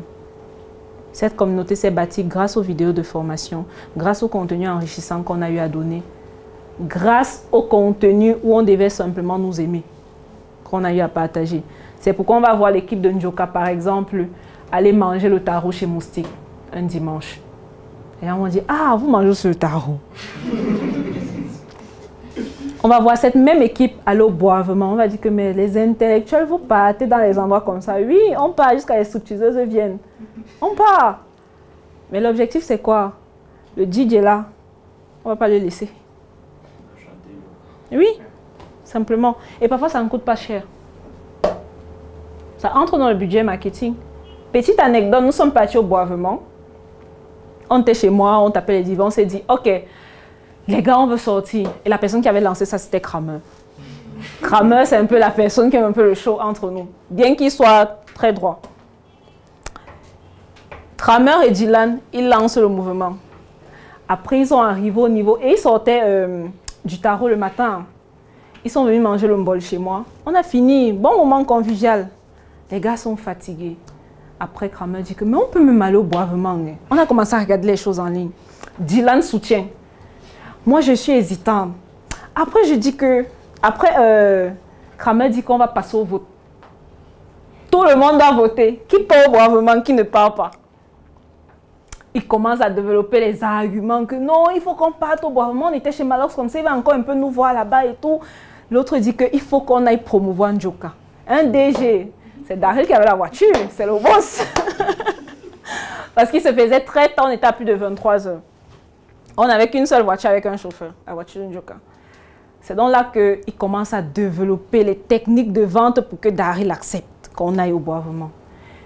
C'est là qu'il a sorti la dernière cartouche que même, ça entre même dans les missions de Njoka. Aller à ce type d'endroit pour promouvoir Njoka. Comment on peut être une entreprise Njoka on n'est pas pour Njoka? C'est là que Daryl accepte que bon, la raison elle est valable, on peut aller. Et là encore, la dernière personne c'était Rutherford. Rutherford n'était pas en mode en bouche. Catégorique. on se dit qu'est-ce qu'on va faire pour Rutherford? On supplie Rutherford, il se couche encore bien. Il dit que lui ne bouge pas on a trouvé des arguments le soir, là, finalement, il sort. Le gars veut sortir, il veut sortir avec la machine. Quand même. tu sors avec la machine, tu pars On a confisqué sa machine. Après, comme on avait plus les chips, ils sont repartis à l'usine. Nous, on a avancé pour aller réserver la, place. Ils arrivent, Rutherford dort. Rutherford dort dans la voiture comment? Finalement, ils sont arrivés sur place sont venus un peu, on a fait l'ambiance et tout. Chrysostome a fait en sorte qu'on appelle nos noms un peu de partout, qu'on parle de la marque. Quand quelqu'un venait seulement que non, le choco et tout, qu'on donne un peu d'argent, ce qu'on faisait, c'est qu'on prenait le njoka, on te donnait. On danse un peu avec toi, on te donne le njoka. Quand les filles là venaient, faisaient leur striptease et tout, on prend seulement le njoka, on te donne, que maman part. On a fini notre mission njoka, on est rentré, 4 heures du matin. C'est aussi pour faire connaître la marque. Et quand on partait ce jour, on était brandé en SM. Quand on arrive à l'entrée, euh, le monsieur commence à bavader que euh, vous êtes venu, vous avez réservé et tout. Parce qu'il a vu le sac qu'ils ont fait le clip avec Malox. SM. Il dit, ah, ok. Il nous a laissé entrer facilement. J'ai vécu la même chose avec, euh, Dylan, toujours Boiré à Douala. Si vous pensez que non, ne soit pas, on aussi. on descend de la voiture, on arrive dans un snack qu'on appelle l'opium à Bonamoussa dit, c'est un peu un snack euh, UP. On arrive là-bas. Boiré était très très jeune sur le visage. Et les gars étaient en mode, non, Boiré ne peut pas entrer. On s'est dit que bon, on va faire comment? Je suis la grande sœur. J'ai un peu fait genre, non, non, non, il n'a pas cet âge-là. Bon, il manquait quelques mois pour qu'il ait l'âge. bon, on a un peu essayé de causer les gens. Dylan a pris la posture qu'il fallait et finalement, nous sommes entrés. On s'est battu pour que Boiry puisse entrer. Plus tard, Boiry, dans ses dégagements, il ressort qu'il peut acheter des bonbons alcoolisés. Dylan me fait comprendre qu'on va bloquer le gars ici. On va bloquer le gars ici. Quand il revient, on lui dit que non, je ne peux pas entrer. Ce qui nous a sauvés, c'était qu'il était en t-shirt Njoka. Et moi aussi, j'étais en t-shirt. Donc, j'ai dit au garde qu'il était déjà avec nous. Et nous sommes là depuis. Ils ont vu la conso, boire et entrer. Simplement. Mais ça, c'était encore dans l'optique d'aller faire la com de Njoka. C'est pourquoi même quand on partait à ce type d'endroit, on essayait toujours d'avoir quelque chose rattaché au marketing. Toujours. On ne sort pas pour rien. Même si on sort pour s'amuser, on sort en étant brandé de telle sorte que les gens demandent que mais ça c'est même quoi? Njokasi, ça veut dire quoi? Vous avez encore sorti quoi? Et du coup, parce qu'on connaît quelque chose, on va acheter, on achète ce qu'on connaît. Et pour faire connaître, voilà quelques étapes que je vous ai partagées avec un seul produit. Parfois pas trop d'argent dépensé. Un seul produit. Il faut apprendre à investir. Donc, sur ce, je vais vous partager quelques papillons. Donc, tu vas juste couper ton papillon et de ce côté aussi. Chacun va tirer un papillon, un seul. Un papillon, j'insiste dessus parce qu'il y a des gens qui vont dire que papillon supplémentaire, s'il vous plaît. Non. Intercalaire, non. Et là-bas. Donc, un seul papillon. Chacun va écrire une question qu'il estime qu'il veut me poser avec son prénom derrière. Donc, euh, on peut commencer avec les questions. Flore pose la question de savoir. Qui est Flore? D'accord. La première Ah oui. passée. Donc, Comment véritablement se faire aimer par le public? comment véritablement se faire aimer par le public? La première chose, c'est qu'on peut poser à son entourage ce qu'ils aiment sur nous. Parce qu'il faut toujours se dire, le public, c'est un peu, euh, l'entourage, c'est un peu l'échantillon des personnes qui peuvent te suivre. Mais hormis de savoir ce qu'ils aiment sur nous, il faut particulièrement demander ce qu'ils n'aiment pas sur nous, à son entourage d'abord. Parce que même le public va ressentir ce que l'entourage disait, il y a qu'on n'aime pas sur toi. Donc ça, c'est la première chose que tu peux faire pour te faire aimer par ton entourage. Maintenant, comme j'ai dit, être authentique, c'est être soi-même. Être la fille du quotidien, s'affirmer. Tu as par exemple tes prises d'opposition que tu as au quotidien. Tu affirmes ça sur les réseaux sociaux. Tout le monde ne va pas t'aimer, tout le monde ne va jamais t'aimer. La preuve, tu as les ex, ils ne t'aiment plus. Peut-être certains t'aiment encore en cachette, mais dis-toi que ça ne sera pas toujours rose. Pour ceux pour qui ça sera rose, qu'est-ce que tu es censé faire? Comment donc faire pour t'aimer? Quand tu as déjà la communauté Ce que tu fais pour t'aimer, c'est simplement écouter les commentaires des personnes qui te suivent.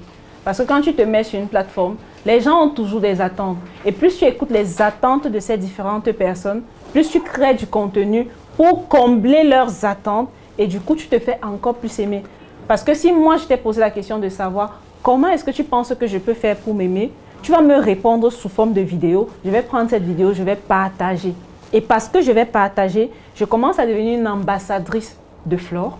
Et par la suite, je, je commence à avoir d'autres personnes qui s'abonnent sur ma page, simplement. Donc, si c'est que tu veux te faire aimer, voilà quelques astuces banalement comme ça que tu peux avoir pour te faire aimer. Après, il faut aussi chercher à être le modèle qui inspire les autres. Si tu veux qu'on t'aime, il y a des gens qui aiment la première dame parce qu'elle est première dame. Il y a les gens qui aiment la première dame parce qu'elle s'habille bien. Elle s'habille, le style d'habillement qu'ils aimeraient avoir. Il y a des gens qui aiment la première dame parce qu'elle a le mari le plus populaire du pays. Donc, il faut déjà savoir en quoi est-ce que tu inspires les gens, qu'est-ce que tu dégages comme énergie? Pourquoi est-ce que les gens vont t'aimer? Parce qu'il faut toujours une raison. hein. Ce n'est qu'en amour avec euh, son petit ami ou sa petite amie qu'on va dire que non, l'amour n'a pas de raison et tout et tout. L'amour a toujours les raisons. Même si que ton copain se met avec toi là, même s'il ne te dit pas que non, je t'aime seulement, il y a toujours une raison au fond qui a fait en sorte qu'il se déplace vers toi. Chose que tu as que les autres filles n'avaient pas. Donc dis-toi que pour ton public aussi, ça sera pareil. Et quand tu t'enregistres ça dans la tête, tu auras toujours une relation plus ou moins sensuelle, je ne sais pas c'est que je vais dire ça comme ça, c'est le meilleur thème, avec les abonnés que tu as sur ta page. Parce que certains vont même bouder. D'autres vont te dire que c'est notre fête aujourd'hui, tu ne nous as pas fêté bonne fête, tu ne nous as pas souhaité bonne fête. C'est parce qu'ils t'aiment qu'ils te demandent ça, simplement. Maintenant, il y a aussi ceux qui vont vraiment t'aimer, t'aimer au point de t'aimer, t'aimer, t'appeler, se présenter, te dire comment ils t'aiment et comment ils veulent t'épouser. Ils sont nombreux, surtout lorsque tu es une femme. Donc maintenant, à toi de faire le tamis ou le tri. Donc, si c'est comment te faire aimer, il y a beaucoup d'amour dehors. Il faut juste savoir comment orienter l'amour. Donc, je pense que pour Flore, je pense que je t'ai répondu. Super. Ok. Euh, Léopoldine pose la question de savoir. Qui est Léopoldine? Léopoldine pose la question de savoir. Je fais dans la vente des produits. Elle est 15 siècle. Oui. Je fais dans la vente des produits artisanaux et j'ai du mal à reconnaître ma cible et ma ligne éditoriale. D'accord. Tu fais dans la vente des produits artisanaux. C'est Léopoldine. Ok. Tu fais dans la vente des produits artisanaux et tu as du mal à reconnaître ta cible. Mais c'est compliqué. Quand tu dis produits artisanaux, tout à l'heure quand je t'ai présenté, j'ai regardé tes pieds. J'ai pas vu ton produit. Tu ne portes pas ton produit toi-même. Toi-même, tu ne portes pas ton produit. Et du coup, comment est-ce que tu vas connaître ta cible? Parce que ta cible, tu peux la connaître à travers les personnes qui ont déjà acheté ton produit. Parfois, on veut trop se casser la tête sur la cible. Ma cible, c'est qui? Ma cible est, ma cible est. Pourtant, ta cible, ce sont simplement des personnes qui ont déjà acheté. Tu pars juste vers elle, tu demandes pourquoi est-ce que tu avais acheté? Qu'est-ce qui t'avait réellement attiré? C'est elle ta cible. C'est souvent ça avec les produits artisanaux. On ne peut pas dire que ces produits, c'est pour une tranche d'âge de 0 à 40 ans, etc. Généralement, les gens qui achètent ça, c'est principalement par émotion. Je me dis, ok, je suis de passage comme ça à Kribi. Il y a un artisan là, il a confectionné des chaussures qui peuvent être bien pour la plage. Je profite, j'achète pour mes vacances. C'est généralement ça. Euh, je suis africaine, je n'ai pas un truc afritude. Ah, elle fait bien les trucs, je vais profiter, je vais prendre. Mais toi, derrière ça, pour comprendre si elle est vraiment ta cible ou alors quelle est vraiment ta cible, tu vas juste recenser des questions, pas que tu vas envoyer un questionnaire comme à soi. Tu fais des questions simplement que tu pourras poser subtilement pendant qu'il fait l'achat ou à la, à la relance pour la fidélisation et tu comprendras ce qui l'a vraiment motivé. Mais tu vas voir que ce sont des dépenses compulsives. Si tu ne sais pas ce que veut dire une dépense compulsive, c'est une dépense par émotion simplement. J'ai vu les chips, je vais acheter point barre. J'ai vu la spadrille là, je vais acheter bye. Donc, généralement, tu vas voir, selon mon expérience, que ce sont des dépenses compulsives. Je, le dis parce que moi-même, j'ai une espadrille comme ça. Et j'ai acheté ça parce que je me suis dit, j'ai pas vraiment un truc tissé de façon africaine. Ça peut faire une touche dans mes vêtements, mais d'habitude, moi, je suis en talon. Donc, si il y avait un questionnaire comme ça en ligne, est-ce que vous aimez des produits artisanaux? J'allais dire non. Simplement, si tu m'attends là-bas, je vais te dire non. C'est pourquoi je te dis, ce sont des dépenses principalement émotionnelles. Tu fais déjà cette activité depuis quelques temps. Donc, tu peux aller vers ces personnes qui ont acheté, qui ne sont pas nécessairement tes amis, tes proches, ta famille, qui viennent peut-être de tes proches, parce que ça commence toujours comme ça, le réseau s'élargit. Attention, quand je dis qu'ils viennent de tes proches, tu ne peux pas faire une activité en ligne si tes proches ne sont pas au courant. Donc la première communication commence autour de ta famille, tes amis. Tout le monde doit être au courant, le quartier doit être au courant. Par la suite, ce sont ces personnes-là, si même si elles n'achètent pas, elles peuvent poster et c'est une sorte de recommandation. Et dont les vraies personnes viennent maintenant vers toi. Et c'est à ces vraies personnes que tu vas demander, en fait, pourquoi est-ce que tu avais acheté cette chaussure?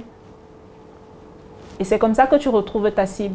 Donc parfois, pas la peine de se casser la tête quand on a des gens produits qui sont sur le marché.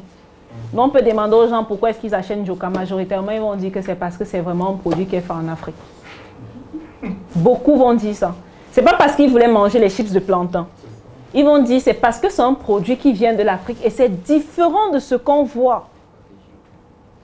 Quand tu pars dans les supermarchés, il n'y a pas les chips de plantain dans ce packaging. Et quand bien même tu trouves les chips de plantain, c'est emballé dans un sachet transparent, on vend ça à 900. Quel est le Camerounais normal qui va aller prendre les chips de plantain dans un paquet transparent à 900 C'est souvent ce qui se passe. Donc en fait, la cible dans ces supermarchés, ce n'est pas nous. Joka se, positionne maintenant comme le, le plastique ou alors les chips qui vont venir se placer pour la cible occidentale là, qui va venir acheter les chips au lieu de 900 à 1500, 2000, simplement. Donc toi, tu peux juste aller faire le recensement. Les personnes qui ont acheté chez moi, elles avaient acheté. Pourquoi? Peut-être elles ont acheté pour offrir. Parce qu'attention, tu peux te dire que ta cible, c'est la personne qui consomme, mais tu ne sais pas que ta cible, c'est la personne qui offre. Tu vois pourquoi je te demande d'aller faire ce questionnaire Je prends cet angle parce que dans ta présentation, tu m'as fait comprendre que tu étais déjà en activité. Donc, toi, tu as déjà quand même des gens qui ont acheté. Tu peux savoir. Peut-être que tout le temps, tes chaussures sont exportées, toi-même, tu ne sais pas. Il y a des gens qui achètent. Lorsque vous étiez en train de parler, là, vous avez mentionné l'Occident. Mhm. J'ai directement noté dans mon cahier que c'est sur les gens de l'autre côté. Donc, tes produits, comme tu l'as dit, tu l'as si bien dit, tes produits, peut-être, ce sont des produits que les gens achètent pour offrir à ceux qui sont de l'autre côté. Parce que demande-toi comment ils font pour avoir les cabas? Quand ils viennent au pays, ils profitent pour acheter tout ça. Qui va vraiment faire ça pour eux là-bas? Parfois, quand tu t'assois, tu regardes les prix des rastas qu'on fait là-bas. Quelqu'un se dit que non, vous comprenez pourquoi je fais un mois avec les rastas? Tellement c'est cher là-bas chez eux. Donc, il faut comprendre réellement qui est ta cible et comment est-ce qu'elle vient à toi, pourquoi est-ce qu'elle vient à toi? Et une fois que tu as la réponse à cette question, je me dis que tu pourras facilement savoir comment communiquer. Peut-être tu pourras communiquer maintenant sur tes, tes, tes produits artisanaux sous forme de cadeaux. Offrez ce cadeau à votre proche qui est en Europe et arrêtez de demander les centaines d'euros. Faites quand même quelque chose. C'est une façon de communiquer pour se faire connaître. J'espère que ça t'a aidé. Next question. Euh, Marius pose la question Marius? comment parvenir à développer la discipline qu'exige le digital? Comment parvenir à développer, à développer la discipline qu'exige le digital? C'est simplement en se lançant sur le digital et en développant sa soi-même. Il n'y a pas une sorte de discipline. Il faut avoir une véritable raison pour laquelle tu te mets sur le digital. Si la raison là, c'est l'argent, tu vas t'arrêter tôt. Donc, ça doit être l'argent avec un autre truc. Sinon, ça s'arrête tôt. Toutes les personnes qui sont parties en ligne pour de l'argent, lorsque la publicité leur a dépassé, lorsque Facebook a un peu bloqué leur compte, ils se sont déconnectés, ils ont dit ça ne fonctionne pas, ils sont rentrés au marché. Donc, si c'est que tu pars en ligne pour de l'argent, ça ne va pas fonctionner. Donc, au fond de toi, il faut chercher en fait quel est ton leitmotiv, quelle est ta mission en fait. Et c'est cette mission-là qui, va te ramener sur le digital. Quand on va regarder toutes les personnes qui ont de fortes communautés en ligne, qui ont plus d'un million d'abonnés, peut-être pas à part les stars ou les influenceurs ou alors, euh, euh, comment dirais-je, les comédiens, parce que eux on les voit à la télé, donc c'est plus facile pour nous d'aller s'abonner peut-être parce qu'ils communiquent sur un film qu'on souhaite voir. Mais je parle de ceux qui produisent par exemple un certain type de contenu, les Zach Mouekassa, les Philippe Simo, les Dr Claudel Noubissi. Leur raison, ce n'est pas l'argent. Ils font l'argent au passage, mais la véritable raison, au fond, ce n'est pas l'argent. Philippe Simo, c'est de faire en sorte que la communauté noire diaspora rentre investie. Et il ne manque pas de le mentionner tout le temps. Claudel Noubissi, c'est simplement que les jeunes puissent débloquer les niveaux et se lancer en entrepreneuriat parce que c'est ce qui va faire euh, progresser le continent. Quand tu regardes les Stéphanie Mbida, sont des personnes qui incitent les gens à rentrer en Afrique. Et qu'est-ce qu'ils font? Ils rentrent eux-mêmes en Afrique. Si on passe sur Ibrahim Kamara, qui est par exemple ma génération, il était aux États-Unis, il est parti rester un peu en Thaïlande. Après, il est rentré en Côte d'Ivoire. Pourquoi? Il ne faut pas qu'ils disent aux Africains comment se faire de l'argent. Lui-même, il n'est pas en Afrique. On va se dire, tu ne vis pas les réalités. Du coup, il oriente son contenu. Si c'était simplement l'argent qui faisait en sorte qu'il aille sur le digital, je te rassure, il n'aurait pas fait une vidéo chaque jour. C'est fatigant. Si c'est simplement l'argent. Moi, j'aime bien les conférences. J'aime bien connecter avec les gens. J'aurais pu faire ça en ligne. J'ai une bonne connexion. j'aurais pu faire ce qu'on est en train de faire ici en ligne. Mais je préfère rencontrer les gens physiquement parce que pour moi, c'est ma mission. J'estime que rester avec toi comme ça, ça fait en sorte qu'on connecte. Donc, si tu veux te lancer sur le digital, je reviens sur le temps, l'énergie, l'argent. Tu vas investir tout ça sans trop vouloir gagner de l'argent. L'argent vient au passage. Je t'en prie. Next question. J'espère qu'il n'y a pas quelqu'un qui écrit maintenant en zigzag. Non. Boris, Boris. Ok. Boris pose la question de savoir que faire si on offre un produit qui n'a pas une communauté sur laquelle on peut prendre exemple? Que faire si on offre un produit qui n'a pas une communauté sur laquelle on peut prendre exemple? D'accord. Euh, ce que j'ai envie de demander, est-ce que Boris peut par exemple spécifier son produit qui n'a pas de communauté sur laquelle on peut prendre exemple? D'accord.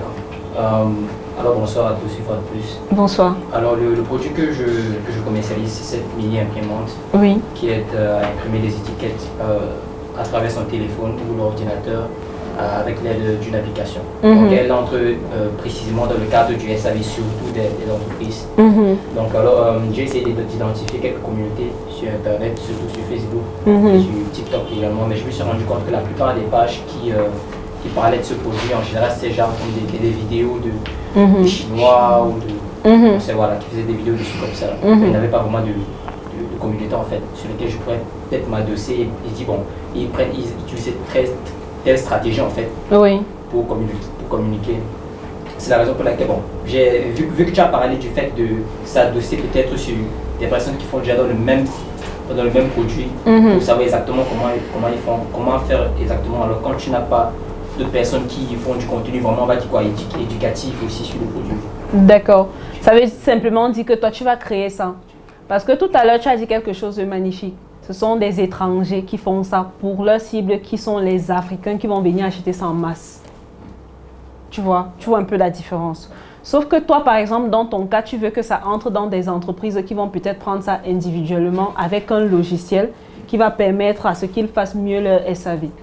Tu vois donc que l'angle est différent. Ça veut dire que si tu veux créer le contenu en ligne, tu devrais plutôt créer du contenu éducatif sur les manquements que les entreprises ont sur le SAV afin de venir proposer maintenant ton produit par derrière. Donc, il ne faut pas toujours rester figé sur la communauté, communauté, communauté, parce qu'on a dit que la communauté fonctionne. La communauté, ce sont des personnes qui sont là, elles sont abonnées, elles sont prêtes à acheter ton produit ou ton service. Mais par la suite, tu peux la créer. Et tu la crées comment? En étant simplement authentique. Tu vas recenser tout ce que les entreprises retrouvent comme problème, les entreprises camerounaises ou africaines. Tu vas parler de façon dure de leurs problèmes qu'elles ont. Et à la fin, tu auras un tunnel tu pourras créer un contenu publicitaire entièrement. Contenu publicitaire, c'est pas filmer ça, poster. C'est un contenu tout pensé, un court métrage proprement dit, qui peut faire une minute, mais qui explique réellement ce que ton truc apporte comme solution. Et ça, ça peut être sponsorisé toute l'année, peut-être à hauteur de 5-10 dollars chaque jour toute l'année pour que le maximum de personnes voient. Et à côté de ça, quand ils ont vu ta publicité, cliquent sur ton nom sur Facebook ou je sais pas trop, ils vont tomber maintenant sur ta page qui a le contenu complet où tu as parlé beaucoup de SAV, tu as parlé beaucoup d'entreprises, tu as parlé de plein de trucs qui touchent les finances d'une entreprise et c'est comme ça qu'ils vont venir acheter ton produit. Et là, tu pourras même te proposer en train de le vendre en gros. Donc c'est ce que moi je peux dire pour ta communauté. Tu n'as pas, c'est pas parce qu'on a dit Njoka aujourd'hui qu'il y a une communauté au Sorel, qu'il y une communauté que tu vas toujours chercher la page qui a la communauté qui vend d'une certaine façon. Il y a plusieurs façons de structurer son tunnel de vente ou alors son tunnel d'acquisition client sur le digital. C'est pas parce que ça fonctionne chez Sorel que quand il va te donner toute sa stratégie, tu vas avoir les mêmes résultats tu vas te casser quelque part, peut-être parce que tu n'as pas la créativité de Sorel, peut-être parce que tu n'as pas la proactivité de Sorel, peut-être parce que tu n'as pas la lecture des chiffres de Sorel. Donc il faut toujours que tu ne restes pas figé sur... Les Chinois font comme ça, moi j'ai bien envie de faire comme ça, mais je sens que ça ne va pas marcher. Qu'est-ce que toi tu peux faire dans ton contexte qui va marcher? Tu lances et puis tu vois comment ça fonctionne. En analysant toujours. Je t'en prie. Sarah, Sarah Ok. On balaye un peu la salle. pose la question de savoir, pour mieux faire connaître son produit sur les réseaux, Mhm. doit-on communiquer sur la page de sa marque ou sa page personnelle? Sur la page de sa marque ou sa page personnelle, j'ai envie de dire, qu'est-ce que Sarah vend comme produit? Je vends des produits cosmétiques. D'accord. Entretien des cheveux. Tu vends des produits cosmétiques pour l'entretien des cheveux et tu demandes si c'est que tu dois communiquer sur ta page perso sur ta page professionnelle ou alors sur ton compte. Oui. Parce qu'il y a une différence. Tu peux avoir deux pages. La page de l'entreprise des produits cosmétiques qui s'appelle sort. Et ta page professionnelle également qui s'appelle Sarah. Je n'ai pas de page. Donc tu as un compte. Ça veut dire, dans ce cas, je t'oriente directement vers la page parce que la page a la possibilité de toucher encore plus d'audience. Mais n'empêche que tu puisses également communiquer toujours sur ton compte pour tes amis qui pourront recommander ton produit. Ça, c'est la chose que tu dois faire. Je te recommande la page parce que tu vas faire des sponsoring, les gens pourront s'ab- s'abonner, tu pourras développer des communautés de plus de 100 000 personnes. Tu fais dans les produits cosmétiques, tu es principalement orienté vers euh, les produits capillaires, principalement. Le branding doit être impeccable. Tu dois toujours être cette fille bien habillée, qui valorise tellement ses cheveux que quand on s'assoit dans cette salle, on ne voit que toi et tes cheveux. Je ne sais pas si tu vois ce que je suis en train de dire. Tu as déjà rencontré Nancy Ongolo. J'ai séjourné avec Nancy dans la même chambre. J'étais fatiguée d'elle. Parce que quand elle partait à la douche, c'était mission cheveux partout. On frotte, on balance ici. Et tout ce que moi j'ai retenu, c'est que c'est dur. Parce qu'en fait, elle prenait un peu plus, bon peut-être maintenant c'est un peu plus facile, mais elle prenait un peu plus de temps pour se préparer. Et ce n'est pas parce qu'elle se lavait trop, mais c'est parce qu'il fallait bien arranger les cheveux, bien les coiffer pour que ce soit toujours nickel. Et quand tu vois Nancy, tu ne vois que ses cheveux. Le docteur lui a dit une fois, le jour que tu te rases, tu perds ton fond de commerce. Et ça, c'est vrai. Parce que le jour que Nancy s'est coiffée, on s'est dit, mais non, qu'est-ce qui s'est passé? On s'attend toujours à regarder tes cheveux. Donc, elle, tu vas voir qu'elle investit beaucoup en marketing. Tu investis quel budget actuellement? Tu n'investis pas encore. Bon, je peux te donner un peu les chiffres de Nancy qui tournent environ à 1 million, 2 millions par mois. Tu vois? Tu vois ce que ça signifie, n'est-ce pas? Tu dois faire un produit impeccable avec un packaging impeccable. Tu dois, par exemple, participer à plusieurs événements de femmes. Ça demande un budget parce que tu dois voyager. Tu dois, par exemple, faire plusieurs shootings. Elle est même arrivée au niveau de faire la cuisine. Sa vidéo récemment a eu plus de 2 millions de vues. Cuisine. Mais qu'est-ce qu'elle met en avant dans ça? On va dire maillot, mais les plus intelligents vont voir ses cheveux. Elle prend toujours la peine d'attacher les cheveux et tout. Mais avant d'attacher, pourquoi elle attache les cheveux à la cuisine? Devant les gens. Donc elle est partie dans sa chambre, elle a pris le foulard, elle est venue à la cuisine avec, elle a mis la caméra, elle a attaché ses cheveux devant toi. Pourquoi? Que ça ne déborde pas. Quand même. Donc après, c'est pour dire qu'elle est fait comme ça, pour faire connaître sa marque. Tu vas voir parfois elle a un t-shirt de Queen. C'est son marketing qu'elle est en train de faire simplement. Tu ne peux pas voir Nancy dans un événement sérieux sans être brandée. Tu peux voir Nancy ici un jour avec une petite robe de tennis, mais vraiment du Nancy, du de Queen. Tu vas toujours la voir brandée. Même un habit comme celui-ci, elle va mettre un logo de Queen. C'est son marketing qu'elle fait. Simplement. Si on doit prendre le cas aujourd'hui, pourquoi est-ce que c'est Mireille qui vous pose des questions? Simplement parce qu'elle a Smicom. Beaucoup n'ont pas vu ça comme ça. Moi, je ne suis pas brandée. Donc, j'espère que j'ai répondu à ta question. Oui. Mais après, j'ai envie de te dire, ne t'effraie pas pour le budget d'un million, deux millions de Nancy. Peut-être j'extrapole. Mais ce que je suis en train de vouloir te faire comprendre, c'est qu'il faut investir. Et investir en tant que femme qui fait déjà dans les cheveux capillaires, dans les produits capillaires, il faut comprendre que les gens veulent voir ces produits-là sur toi. Le résultat de ces produits-là. Tu as déjà de beaux cheveux, tu as de longs cheveux. Mais les gens veulent voir le produit sur toi. Et du coup, ce que tu devrais porter, ce ne sont pas des couleurs sombres. Tu es noir. Donc, il faut que tu portes des couleurs qu'on ne va que voir dans la salle-ci. Que lorsque tu entres, tu es tellement bien habillé qu'on se demande, mais c'est quoi son secret? Ses cheveux sont beaux. Tu vois? Mais par contre, là, avec ton branding, quand je regarde ton branding, c'est plus quelqu'un qui veut se fondre dans la masse qui est de côté. Non, non, non, tu arrives tôt, tu prends la première place, tu vois où la caméra va passer là, ça va te prendre. Tu es là-bas. Donc, prochainement, ta place aurait dû être là. Tu vois? Petite anecdote, quand je suis partie à la formation de Philippe Simo, comment j'ai fait pour me démarquer? Je suis entrée dans la salle, j'ai fait la lecture de la salle. C'est pourquoi il faut arriver tôt.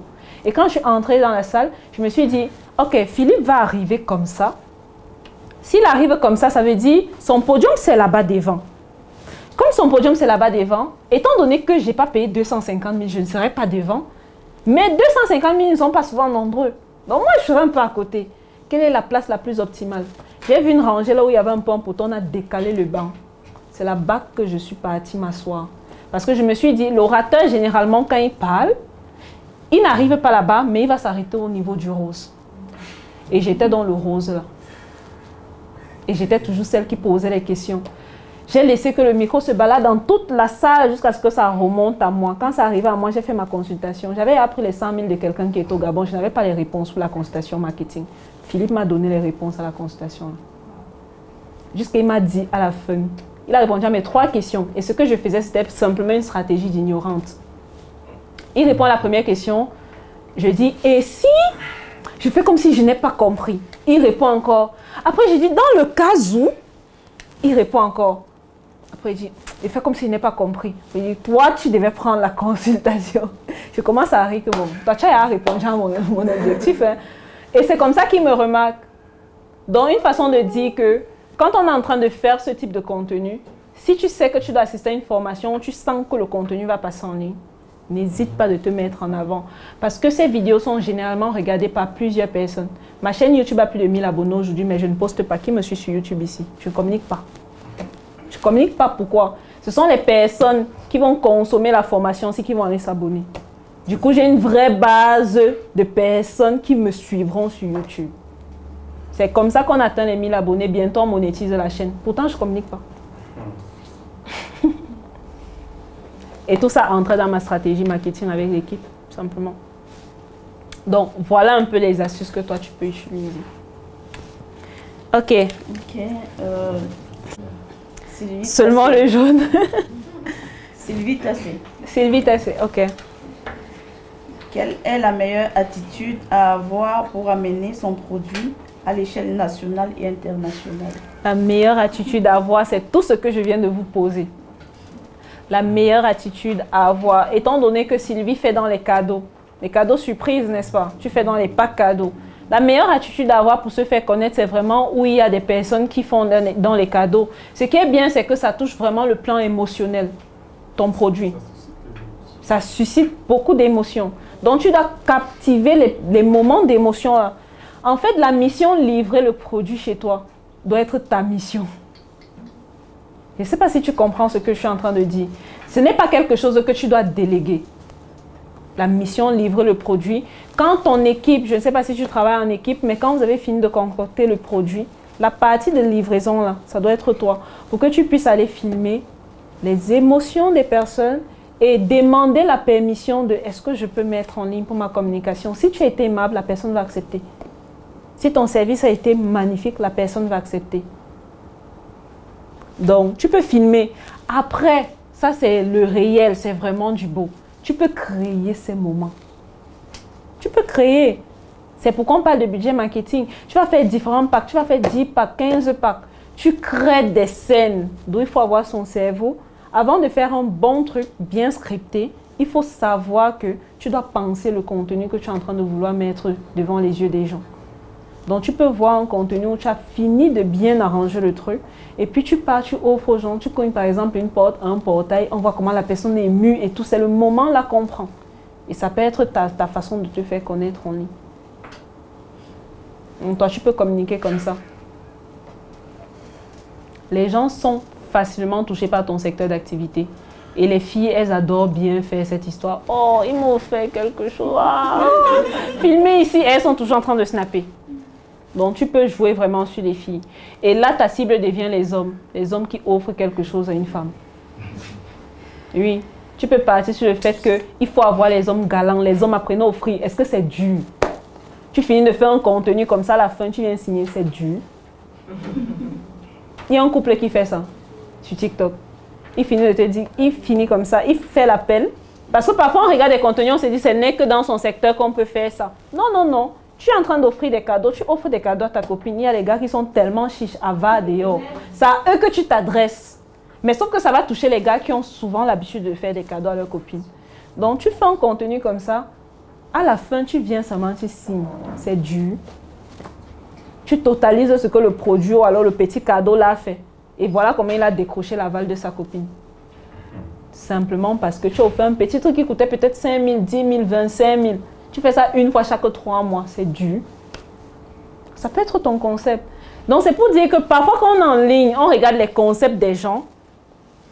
Il faut essayer de voir comment est-ce que le concept que je viens de voir, si je peux utiliser ça dans ce que je fais. Toujours se poser la question comment, comment, comment? Comment est-ce que ce qu'on fait, si je peux utiliser dans ce que je fais? Pour ma part, le podcast qu'on est en train de vouloir lancer, c'est vrai, ça, aura pour objectif de me faire connaître, mais je me suis inspirée de qui? De Philippe Simon. Mais sauf que ma part ne sera pas orientée entrepreneur, entrepreneuriat, ça sera orienté marketing. Et la cible, ce sont principalement les entrepreneurs qui ont, un, des entreprises physiques et deux, des communautés bâties en ligne. Donc, je ne vais pas chercher quelqu'un qui a 400 000 abonnés, 50 000 abonnés, 1 million d'abonnés. Je viens avec lui, je m'assois là, on fait le podcast dans le podcast, ce qui doit m'expliquer, c'est comment est-ce que ces actions marketing ont généré du chiffre d'affaires dans son entreprise grâce au digital. C'est l'objectif du podcast. Tu vois un peu, on ne parle pas dans tous les sens. On s'est inspiré d'un contenu pour créer le nôtre avec notre particularité ou notre authenticité. C'est comme ça qu'on travaille. J'espère que j'ai répondu à ta question, bien il y a des zones d'ombre. D'accord, super. J'espère te voir en ligne avec. C'est dur. Igoré. Igoré, d'accord. Comment réagir face euh, aux clients insolents? Comment réagir face aux clients insolents? Première chose, ne jamais aller dans le même sens que les clients insolents. Deuxième chose, c'est les remercier. Simplement. Non, quand un client est insolent, ça sera très bas de descendre dans le même sens que. Je ne sais pas si tu comprends. Si quelqu'un vient me dire mouf ta maman, j'entre aussi dans mouf ta maman, tu me d'abord les. Il a plus d'avantages parce qu'il peut capturer ça et aller mettre en ligne. Et moi, je serai en train de me justifier inutilement. Donc, s'il me dit mouf ta maman, je lui dis merci beaucoup. D'accord, ça le casse. Je vais te prendre un simple cas. Le président Macron, je vois d'essais vidéo sur lui. Ce que moi je retiens de toutes les vidéos là, c'est que ce président est hyper fort. Parce que tu descends dans la rue comme ça, on te gifle. Tu es le président, hein? c'est toi qui votes les lois, c'est toi qui signes les documents. Tu peux faire en sorte qu'ils sortent du pays là, ils ne reviennent plus jamais. Mais ils te giflent. Tu rencontres des gens, les gars te disent comment tu es complètement nul. Et tu sais ce qu'il fait? Il dit merci beaucoup, jusqu'à il touche son cœur. Et il sourit. Mais c'est dur. On sait que nous, en Afrique, on a le sang chaud. Évitons d'entrer dans le même sens que nos confrères qui ont le sang chaud. Tout le monde ne sera pas toujours content de ce que tu ouvres. Donc la personne va venir à un moment donné et tirer sur toi, tirer sur toi de telle sorte que tu sortes de tes gonds. Retiens qu'il y a toujours les espions. Quand tu as déjà maintenu ça dans ta tête, dis-toi que la personne là, c'est peut-être l'un des espions qui est venu pour te voir sortir de tes gonds, mais tu ne vas pas sortir. C'est un peu comme ce qu'on dit, ceux qui m'attendent au virage, là, je ne vais jamais virer. Tu retiens bien cette phrase-là. Parce qu'une fois que tu commences à insulter la personne, non, ça va dans tous les sens. Moi, j'avais pour habitude de ne pas répondre. Je ne sais pas si c'est une stratégie. Oui, le silence aussi, c'est une réponse. Le silence aussi, c'est une réponse. Mais moi, je dis, au lieu de mettre le silence, je préfère mettre un merci beaucoup. La personne comprend que j'ai lu, j'ai approuvé son message et puis je lui ai remercié. Fin de la discussion. C'est pourquoi parfois en ligne, quand les gens veulent tirer sur moi, il y a certains abonnés qui viennent répondre que tu ne connais même pas le français que Sorel a. Quand il va venir te répondre encore. C'est pas pour dire que je suis insolente, mais dans mon commentaire, je, je fais souvent de telle sorte que en fait, je te présente toujours le fait que tu n'as pas suivi toute la vidéo. ou tu n'as pas suivi tout le contenu. Parce que notre façon de créer le contenu, c'est pas que, comme aujourd'hui on a commencé à parler de produits, demain sur la page, tu vas voir une publication sur le produit. Après, demain, on va parler encore du produit. Non, aujourd'hui on parle du produit, demain on va parler des entrepreneurs qui licencient mal les gens. Après, demain, on va parler par exemple du marketing. Ensuite, on va parler par exemple du branding. On va parler du packaging. Ce qui fait que si toi, tu viens juste chercher la suite de ce qu'on avait dit en premier, il va falloir que tu scrolles tellement sur la page. Et donc, j'invite souvent ces personnes à descendre sur ma page pour aller scroller. J'avais fait une vidéo comme ça, où je disais gagner un million, c'était quoi, en 7 jours, un truc comme ça. J'expliquais dans cette, cette vidéo un concept. Et dans cette vidéo, j'ai un peu utilisé de distraction. Donc j'ai un peu bougé sur l'émotionnel. Parce qu'au Cameroun, on a l'habitude de dire femme là. Et quand on dit femme là, on pense déjà au secte, on pense déjà à l'argent facile, etc. Mais sauf que moi, je suis arrivée à Bafoussam pour la première fois de ma vie. On a mangé au quartier femme là.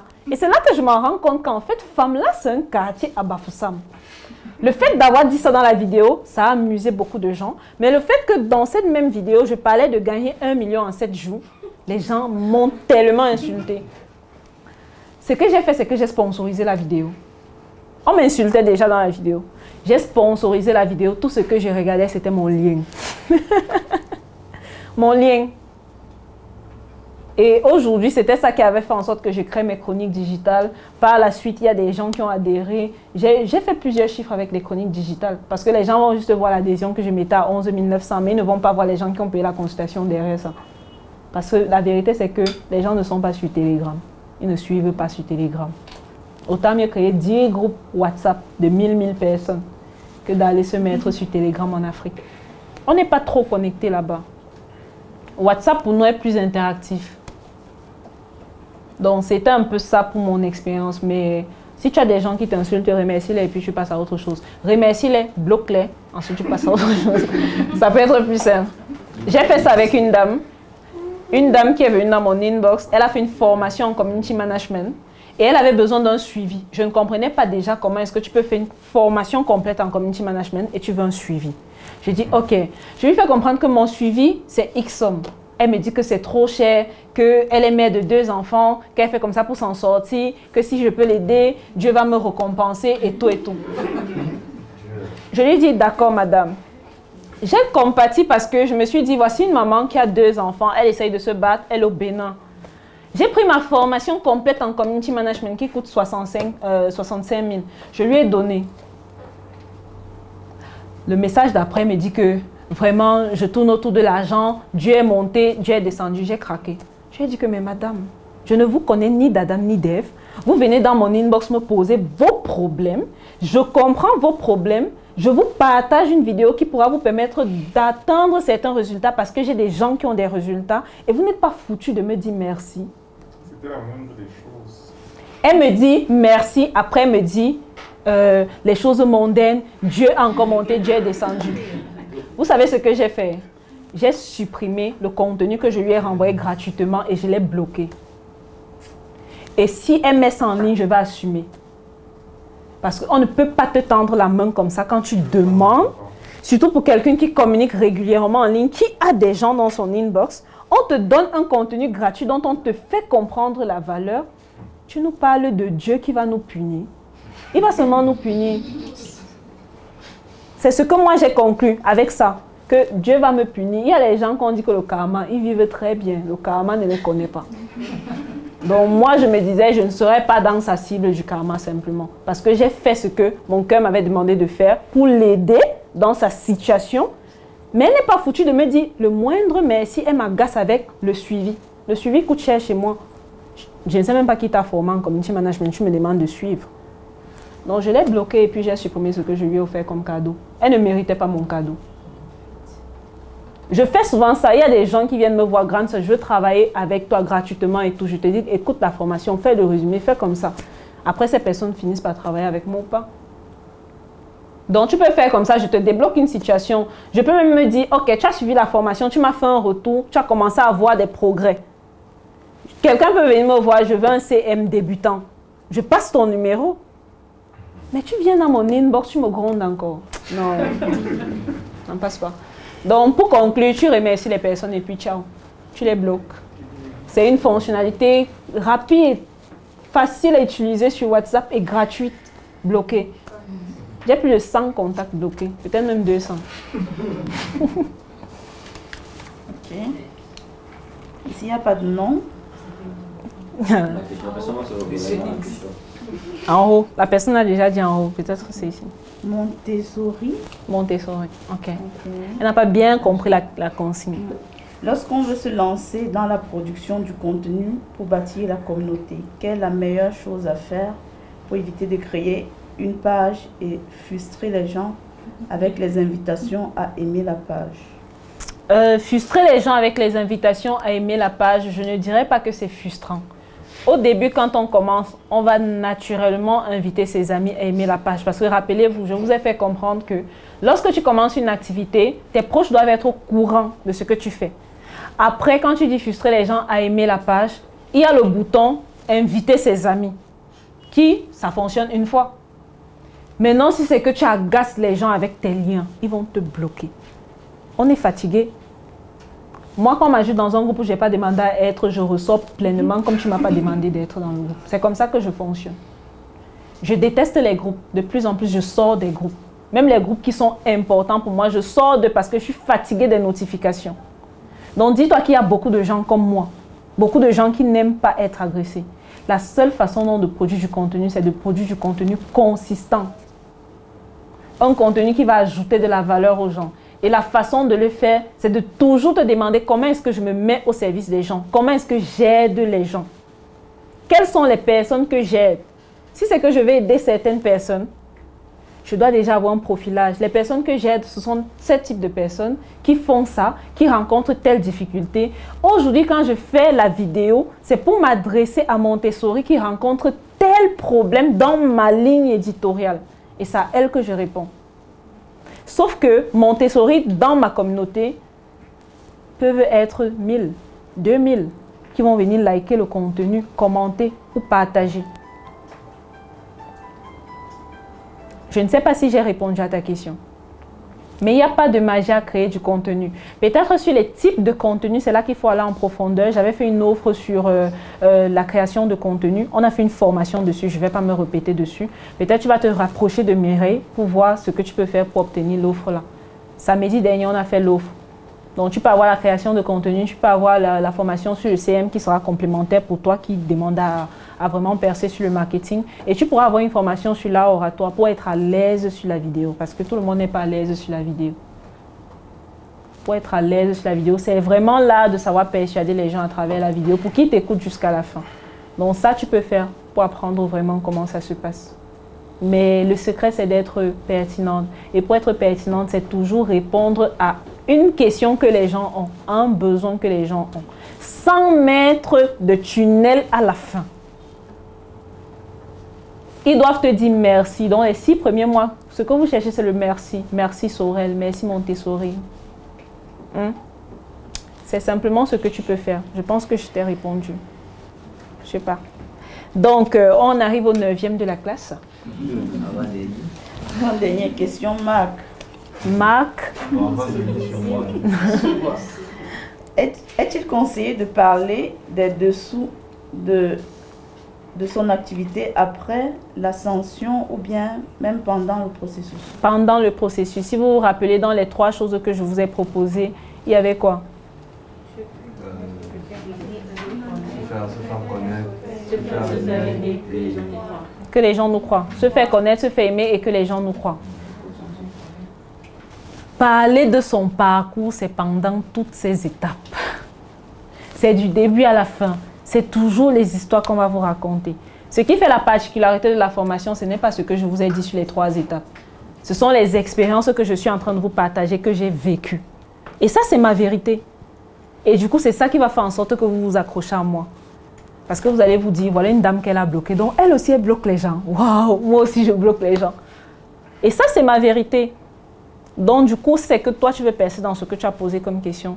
Je te recommande simplement de partager ça tout au long de ton parcours, avant, pendant et après ton succès. Mais il ne faut pas exagérer. Ça ne doit pas être des contenus où tous les jours, oh, j'ai galéré. Oh, comme vous voyez là, c'était dur. Vraiment, les parents n'ont pas cru en nous. Les frères n'ont pas cru en nous. Évitons ça. Non.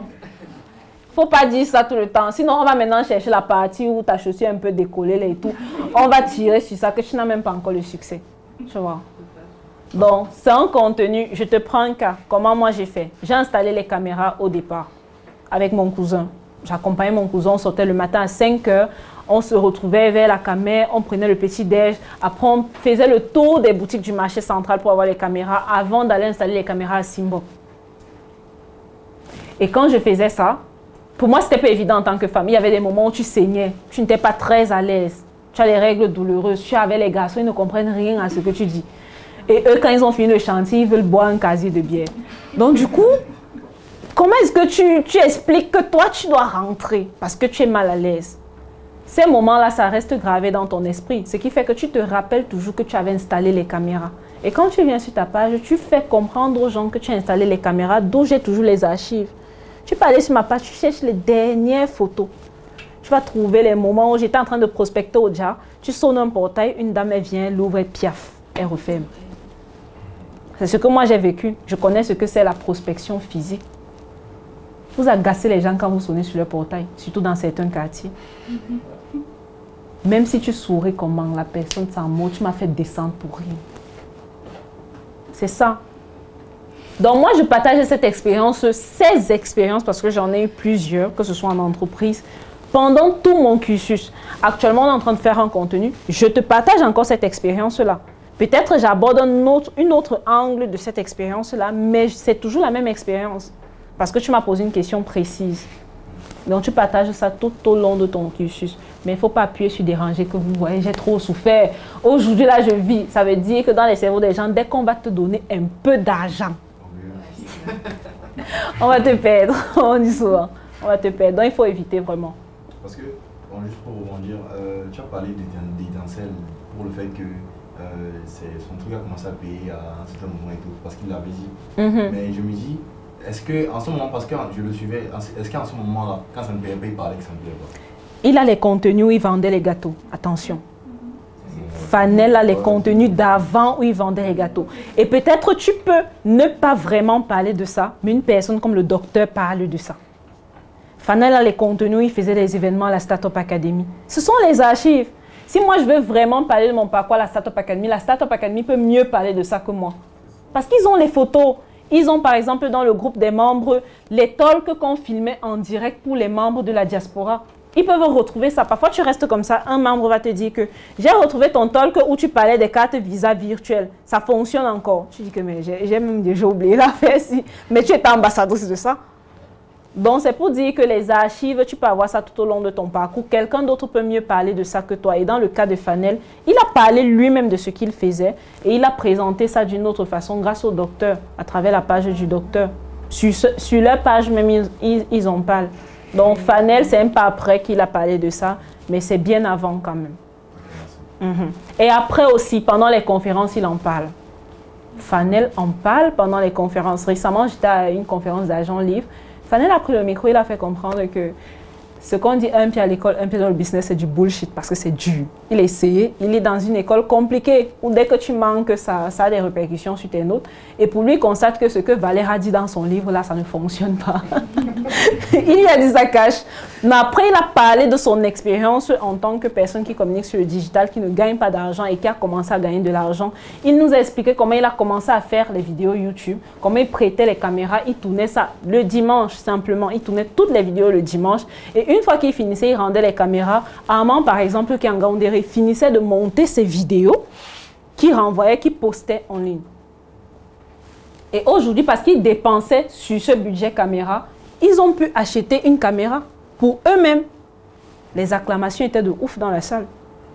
C'est un partage d'expérience. Il vient de nous expliquer comment il est quitté du... du de... Avéro Jess a dit quoi De zéro à héros, voilà. Donc il a commencé à avoir le niama simplement. Donc le dernier de la classe. Dernière question. Diane. Diane. Diane. Mhm. Quel est le meilleur moyen pour déployer mon produit dans la diaspora?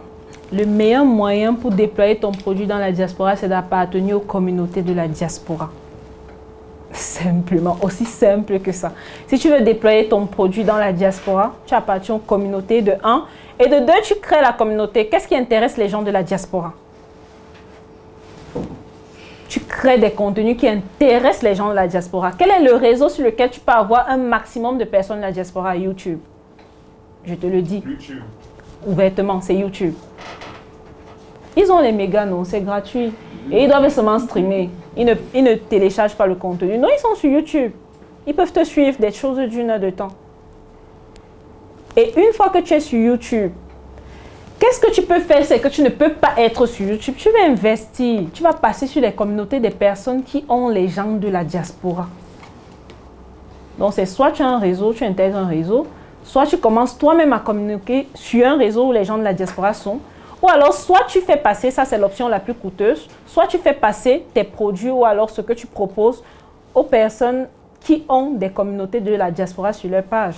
Là, tu peux commencer à te documenter pour que ça t'effraie un peu. Tu contactes Philippe Simon, tu lui dis budget publicitaire pour passer sur ta page, je te renvoie un peu une petite facture d'un million pour une minute là. Tu, tu, tu bugs un peu. Après, tu écris encore à d'autres personnes qui ont les communautés de la diaspora sur leur page, tu bugs un peu. À défaut de ça, la première option, comme j'ai dit, intégrer un réseau. Tu peux intégrer un réseau et tellement tu te démarques dans ce réseau-là, tu rencontres ou alors tu contactes dans ce réseau des personnes qui sont dans les pays où tu souhaites distribuer. Tu communiques avec elles parce que vous êtes dans le même réseau, elles peuvent trouver des solutions pour que tu commercialises ton produit de l'autre côté. Parce qu'on ne connaît pas. Nos frères, parfois, ils sont dans des grosses boîtes qui permettent de distribuer les produits. Et parce qu'on n'est pas au courant de ça, on ne va pas distribuer le produit comme il faut. Njoka, par exemple, aujourd'hui est distribué au Canada, en France, en Suisse, dans plusieurs autres pays. Pourquoi? Parce que Njoka appartient à une communauté qu'on appelle Unibrain, une communauté qui a créé la tontine structurelle, qui sont principalement les investisseurs de Njoka. Et dans cette communauté-là, il y a des gens dans divers pays du monde qui ont demandé à faire venir le produit pour faire tester dans des maisons comme Carrefour là-bas et d'autres enseignes. De telle sorte qu'ils vont commencer à distribuer le produit dans ces enseignes. C'est ce qu'on a commencé à voir en Allemagne. C'est pourquoi le produit est distribué là-bas. Donc ça, c'est parce que c'est déjà dans un réseau, réseau où il y a les gens qui ont aussi leur réseau et qui peuvent distribuer le produit simplement. Donc ça, c'est une option que tu peux faire. Donc, on arrive au thème de l'émission, les pépites de Sorel, la minute de Sorel, je ne sais pas encore comment on va appeler ça. Le Django de Sorel.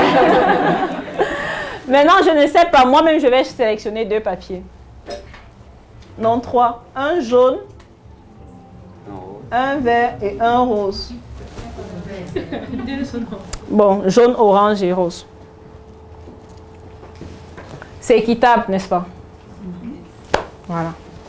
Roulement de tambour, s'il vous plaît.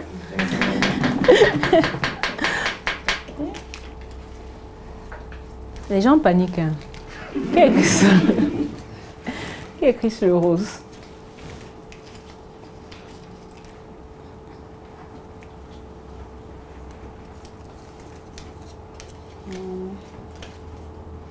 Commençons, commençons par lui. oui. Voilà. Patricia, Patricia. Oh, les rescapés. juste merci. Juste merci.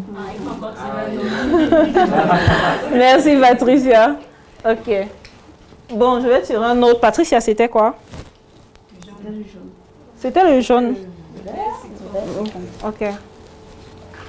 Donc, Patricia, merci à toi aussi. Ok. Stéphane, D'accord. Ah, tu as switché ta place. peut-on vendre sans faire connaître sa personne? Peut-on vendre sans faire connaître sa personne? Oui, je dirais oui. On peut vendre sans faire connaître sa personne. Il y a plusieurs pages qu'on va écouter qui n'ont pas leur personne derrière. Donc, Bidi, par exemple, c'est une page qui aurait fonctionné sans son visage. Clairement. Mais avec son énergie, on est dedans. Aujourd'hui, j'ai vu une publicité du bachelor.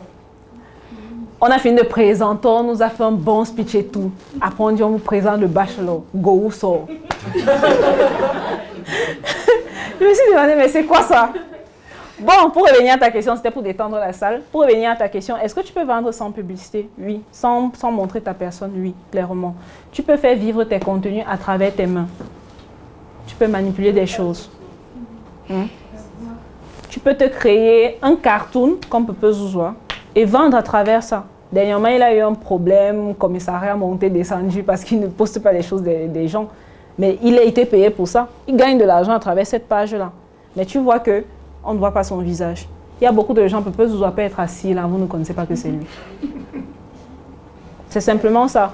Donc, l'astuce que moi je peux te donner pour que tu puisses vraiment vendre sans devoir mettre ton visage en ligne, c'est que tu fasses vivre tes membres, les mains, les pieds, qu'on voit toujours des parties de ton corps sans trop te voir. Il y a plusieurs personnes qui font ça. Que tu travailles très bien la voix off et beaucoup d'animation si c'est que tu dois faire la vidéo. Tu peux faire des voix off, mais beaucoup d'illustrations dans tes vidéos. Tu vois? Ça, c'est un contenu qui peut te permettre de te vendre sans toutefois montrer ton visage. Mais par contre, ce que tu vas vendre, c'est ta voix, c'est ton esprit, c'est ton énergie par derrière. Et les gens s'abonnent à ça. Il y a une page que je suivais très bien sur YouTube. Actuellement, il a commencé à montrer son visage, mais il nous a avoué qu'avant, il était très complexé. Il ne montrait pas son visage, il n'était pas à l'aise avec ça. Mais ça fonctionne très bien aujourd'hui toujours. Donc, c'est quelque chose que toi aussi tu peux faire. Peut-être que tu as quelque chose que les gens apprécient bien, hormis de ton visage, que tu peux démontrer et puis ça perce. Mais moi, je dis toujours, l'option, c'est de tester. C'est vraiment, vraiment de tester. Il y a beaucoup de gens qui vendent les habits et autres sur Instagram sans montrer leur visage. Tout le temps, ils nous montrent seulement le vêtement et tout. Moi, on regarde juste la silhouette et puis on peut acheter l'habit simplement. Maintenant, qu'est-ce que tu vends? Qu'est-ce que tu vends? Parce que si... Moi, je vends des produits euh, pour résoudre les problèmes de douleur musculaire et articulaire. Justement, ça, c'est même encore l'occasion. Tu peux parler de ça avec quelqu'un d'autre. Si par exemple on parle de problèmes musculaires, on va parler de rhumatisme, des douleurs bizarres et tout, tu peux montrer, tu peux faire des courts-métrages. Une grand-mère qui. J'ai développé le rhumatisme, mais moi je découpe pas les, fruits, les carottes et tout. La cuisine, c'est pas trop mon truc. Simplement parce que quand je reste longtemps comme ça, découper les légumes et tout, on doit redresser mes doigts. Et j'ai développé ça à l'âge de 12 ans. Mon papa souffrait de rhumatisme. Quand j'ai développé ça, on était un mariage de ma cousine. Je me suis plaint. Mais quand on commençait à rire que ta part commence à 12 ans, tu vas t'en sortir. En terminale, j'ai eu la bande au pied pendant plus d'une semaine. Je n'avais pas de blessure. C'est juste que ma classe était à l'étage et chaque fois que je avec le menthol pour partir à l'école. Ça, c'est une réalité que moi j'ai vécue. Donc ça, ça peut être des scènes, par exemple. Je te parle d'une situation que j'ai vécue par rapport aux genoux et tout, mais ça peut être des scènes que tu peux utiliser pour mettre en avant le malaise des personnes qui souffrent de ça et proposer la solution. Donc chez toi, ça sera beaucoup plus des vidéos illustratives du mal de la personne. Donc tu, vas, tu dois réfléchir sur tout type de position, la personne peut se retrouver. Tu crées ces, ces- ces- ces situations-là et c'est ça que tu postes avec une solution à la fin. Mhm. Je t'en prie. Donc, le deuxième rescapé, Euh, Mur, Murtel. Larry Muriel. Muriel. Ok. Euh, comment m'y prendre pour prospecter pour la vente de blouses et du matériel auprès des, des cliniques et instituts de formation? Euh, comment s'y prendre pour prospecter auprès des instituts de formation et cliniques? Est-ce que les cliniques ont souvent besoin des blouses toute l'année? Non. Excusez. Il faut te rassurer d'où est-ce qu'elles s'approvisionnent déjà? Ça, c'est la première étape. Si c'est que tu vas aller vendre une clinique, il faut savoir où est-ce qu'elle achète déjà. Peut-être que c'est même le business du boss là-bas. en général, tu vois. Il faut te rassurer où elle s'approvisionne. Maintenant, pour les blouses des étudiants à l'université, est-ce que tu es, par exemple, étudiante? Ça veut dire c'est un bon moyen d'être vraiment cette porte d'entrée à l'école. Ta première cible, ce sont les premières années qui viennent, qui découvrent, qui savent qu'ils doivent avoir ça, mais être celle-là qui est l'amie des délégués, être celle-là qui, dont sa voix porte quand même à l'école, ça veut dire l'astuce, c'est de regarder dans ton école quel est le club qui fait le plus parler de lui. Tu comprends la différence? Et une fois que tu es dans ce club, quels sont les délégués de toutes les classes avec lesquelles je peux connecter, surtout les délégués de première année? Là, tu vas avoir une base depuis la première année, en deuxième année, parce qu'elles ont été satisfaites de la blouse que tu as offerte. Elles vont revenir en deuxième, en troisième, etc. Ça devient ton réseau. Et être aussi l'ami des professeurs qui sont souvent euh, les professeurs titulaires des classes. Oui. Eux, ils peuvent, par exemple, dans leur speech en classe de bienvenue, te recommander. Et ils gagnent leur pourcentage. Parce qu'il ne faut pas proposer le marché comme ça, ils ne gagnent rien. Ils gagnent leur pourcentage. Donc moi, l'une des choses que j'ai fait à l'IAE pour mieux me connaître, c'est que j'ai été majorette de l'IAE. C'est peut-être bizarre. Bon, certaines personnes vont se dire que c'est un peu naturel parce que tu as le corps. Mais ce qui m'a ramené là-bas, c'est parce que dans ma classe, j'ai fait la situation anglophone, on n'était pas très nombreux. Et pour le défilé, l'IAE a toujours un carreau où il défile avec tous les drapeaux. Pour ceux qui regardent l'IAE, il défile avec tous les drapeaux des différents pays où ils sont représentés. Et ça fait beaucoup de drapeaux. Donc moi, en tant que fille, le professeur m'avait pris, m'a mis dans le carreau là, sauf que ce carreau s'habille en veste et il marque le pas plus que tous les autres étudiants. Il marque le pas comme les militaires, c'est dur. J'ai fait ça la première année, après ça m'a fatigué la deuxième année. Je vois comment on fait les répétitions sous le soleil.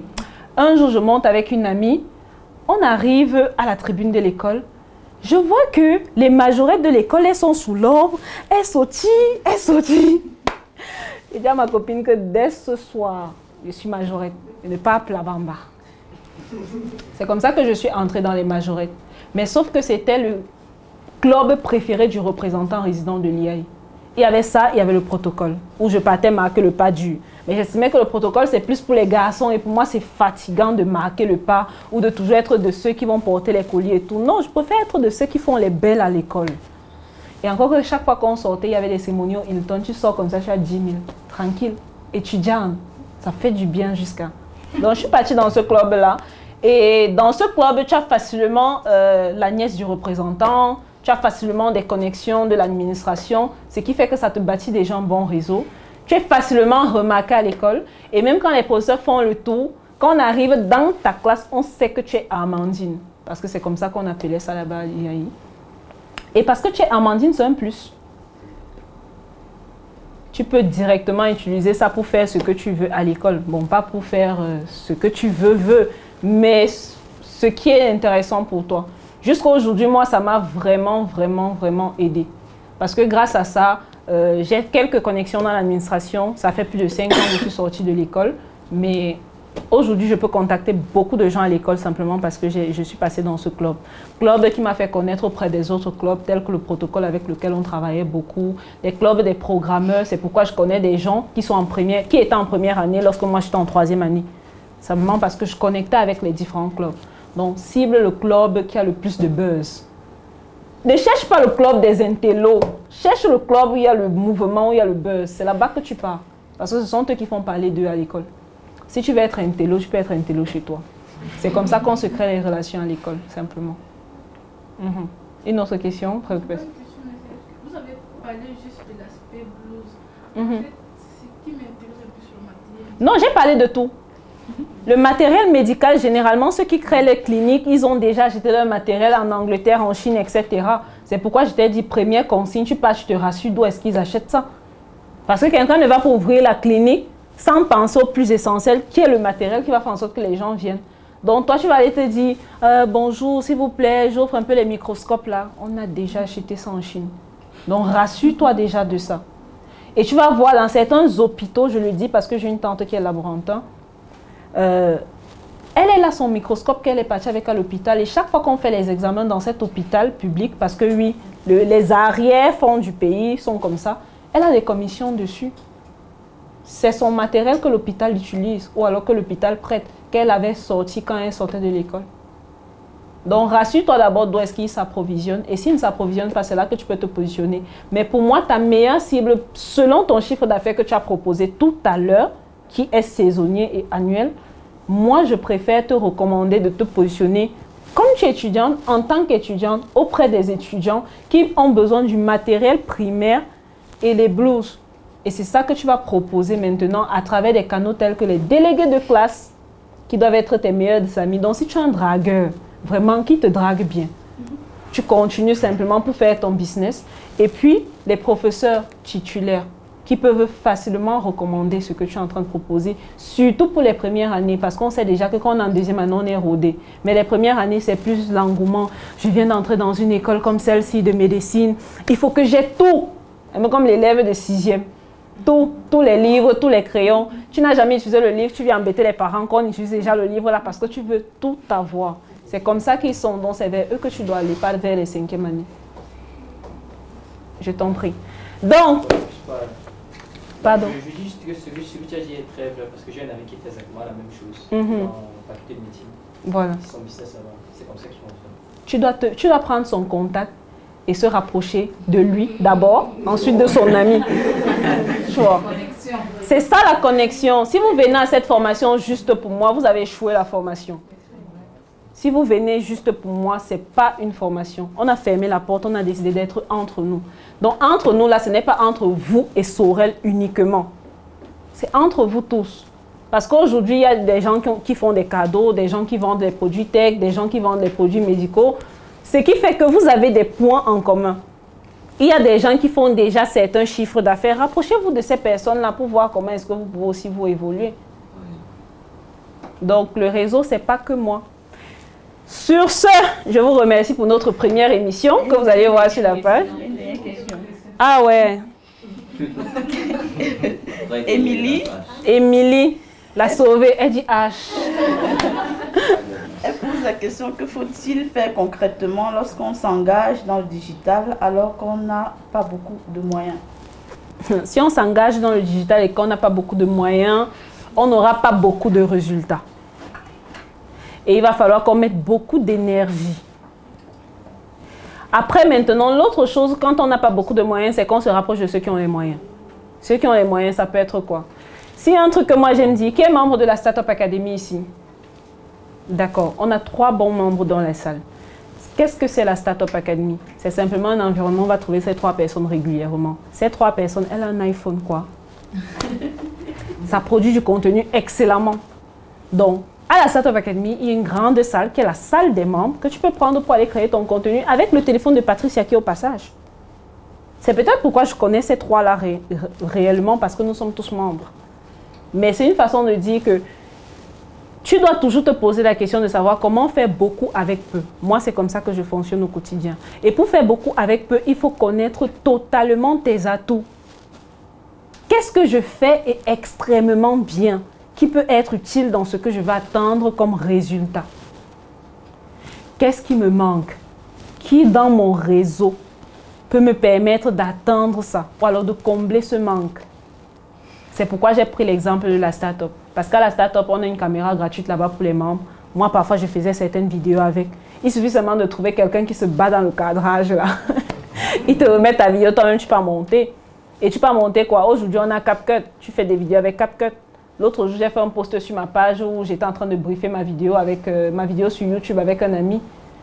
Mon ami là pour causer avec lui comme ça, tu vas payer de l'argent. Parce que lui, il fait les vidéos de Philippe Simo, il fait les vidéos de Fanel, il fait plusieurs vidéos des gars de la diaspora. Ça, c'est un bon contact pour toi, par exemple. Il a tout un réseau de la diaspora. Tu devrais intégrer le réseau des chercheurs d'argent, par exemple. Unibrain, par exemple. Ce sont des réseaux que tu dois intégrer. Mais quand je dis ça, c'est que tu dois juste comprendre que pour faire beaucoup avec peu, tu as déjà tout ce qu'il te faut.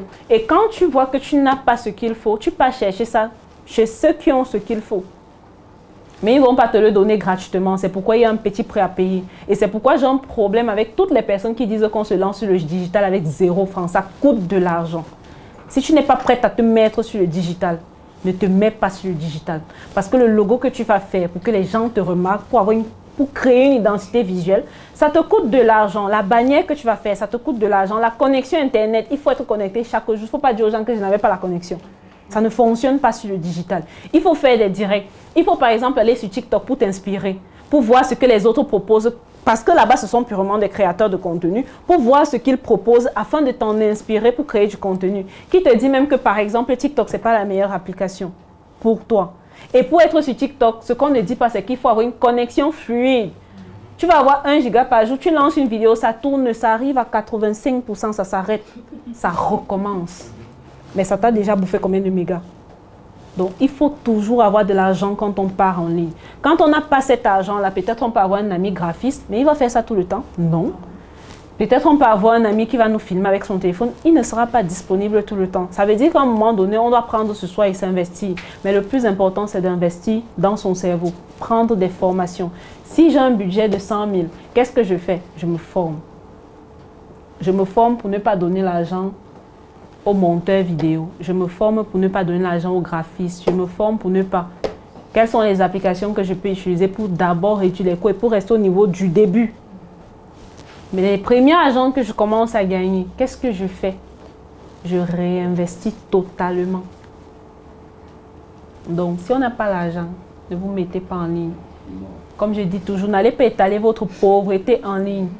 Il y a une fille, elle avait posté un contenu comme ça, on disait que non, voilà les influenceuses, elles postent où c'est sale, nanani, nanana. Mais alors que ça a récupéré ça, il a dit que ça, c'est quoi ça? C'était trop sale. Que quand on demande d'être propre là, c'est pas parce que tu es pauvre que tu dois être sale. Ça n'a aucune relation. Que mais ma chérie, arrange d'abord ta chambre. Mets-toi bien.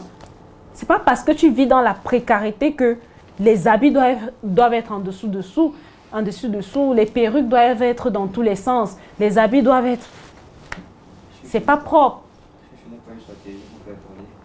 C'est une stratégie pour faire parler, mais parfois tu peux avoir un bad buzz qui t'éteint totalement. Totalement. Avant que ta carrière ne décolle, c'est déjà éteint. Et il faut éviter ça. Parce qu'il y a des buzz qui peuvent faire en sorte que tu ne décolles plus jamais dans ta vie. Donc évitons tant qu'on peut. Créons des buzz qu'on pourra maîtriser. C'est peut-être le conseil de fin que je pourrais vous donner. Donc sur ce, je vous remercie. L'autre chose que je vais vous proposer, c'est que j'ai décidé, et en l'honneur du NRC, de faire les plans marketing pour tout le monde. Faire les plans marketing, ça me coûte 100 000 francs. Mais exceptionnellement, pour vous, je vais laisser ça à 50 euros, donc 32 500. Le plan marketing, c'est quoi? Pour toutes les personnes qui veulent se lancer en ligne, pour toutes les personnes qui veulent développer leur marque ou leur produit en ligne, ce qu'on va simplement faire, c'est qu'on va s'asseoir et avec toutes les méthodes ou les stratégies que je vous ai proposées aujourd'hui, on structure ça au point de sortir, déjà de marquer la ligne éditoriale, de ressortir la stratégie marketing et enfin de ressortir le planning éditorial qui te permet de connecter ou alors de communiquer régulièrement avec les gens sur le digital. C'est ce que je propose aujourd'hui à 50 euros. Donc toutes les personnes qui sont intéressées, bien vouloir me contacter. Qui est partant? D'accord. C'est temps? Qu'il y, a bien Euh, le temps, c'est 24 heures comme d'habitude, pour faire l'avance.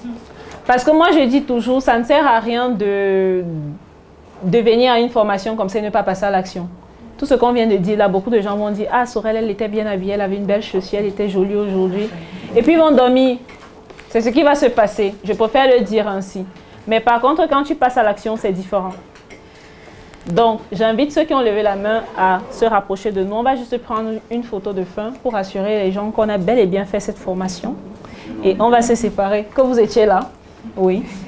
Donc, je vous invite à vraiment par la suite venir taguer vos produits ou vos services, vos pages sur euh, le commentaire. Ça permettra aux gens de, de vous voir.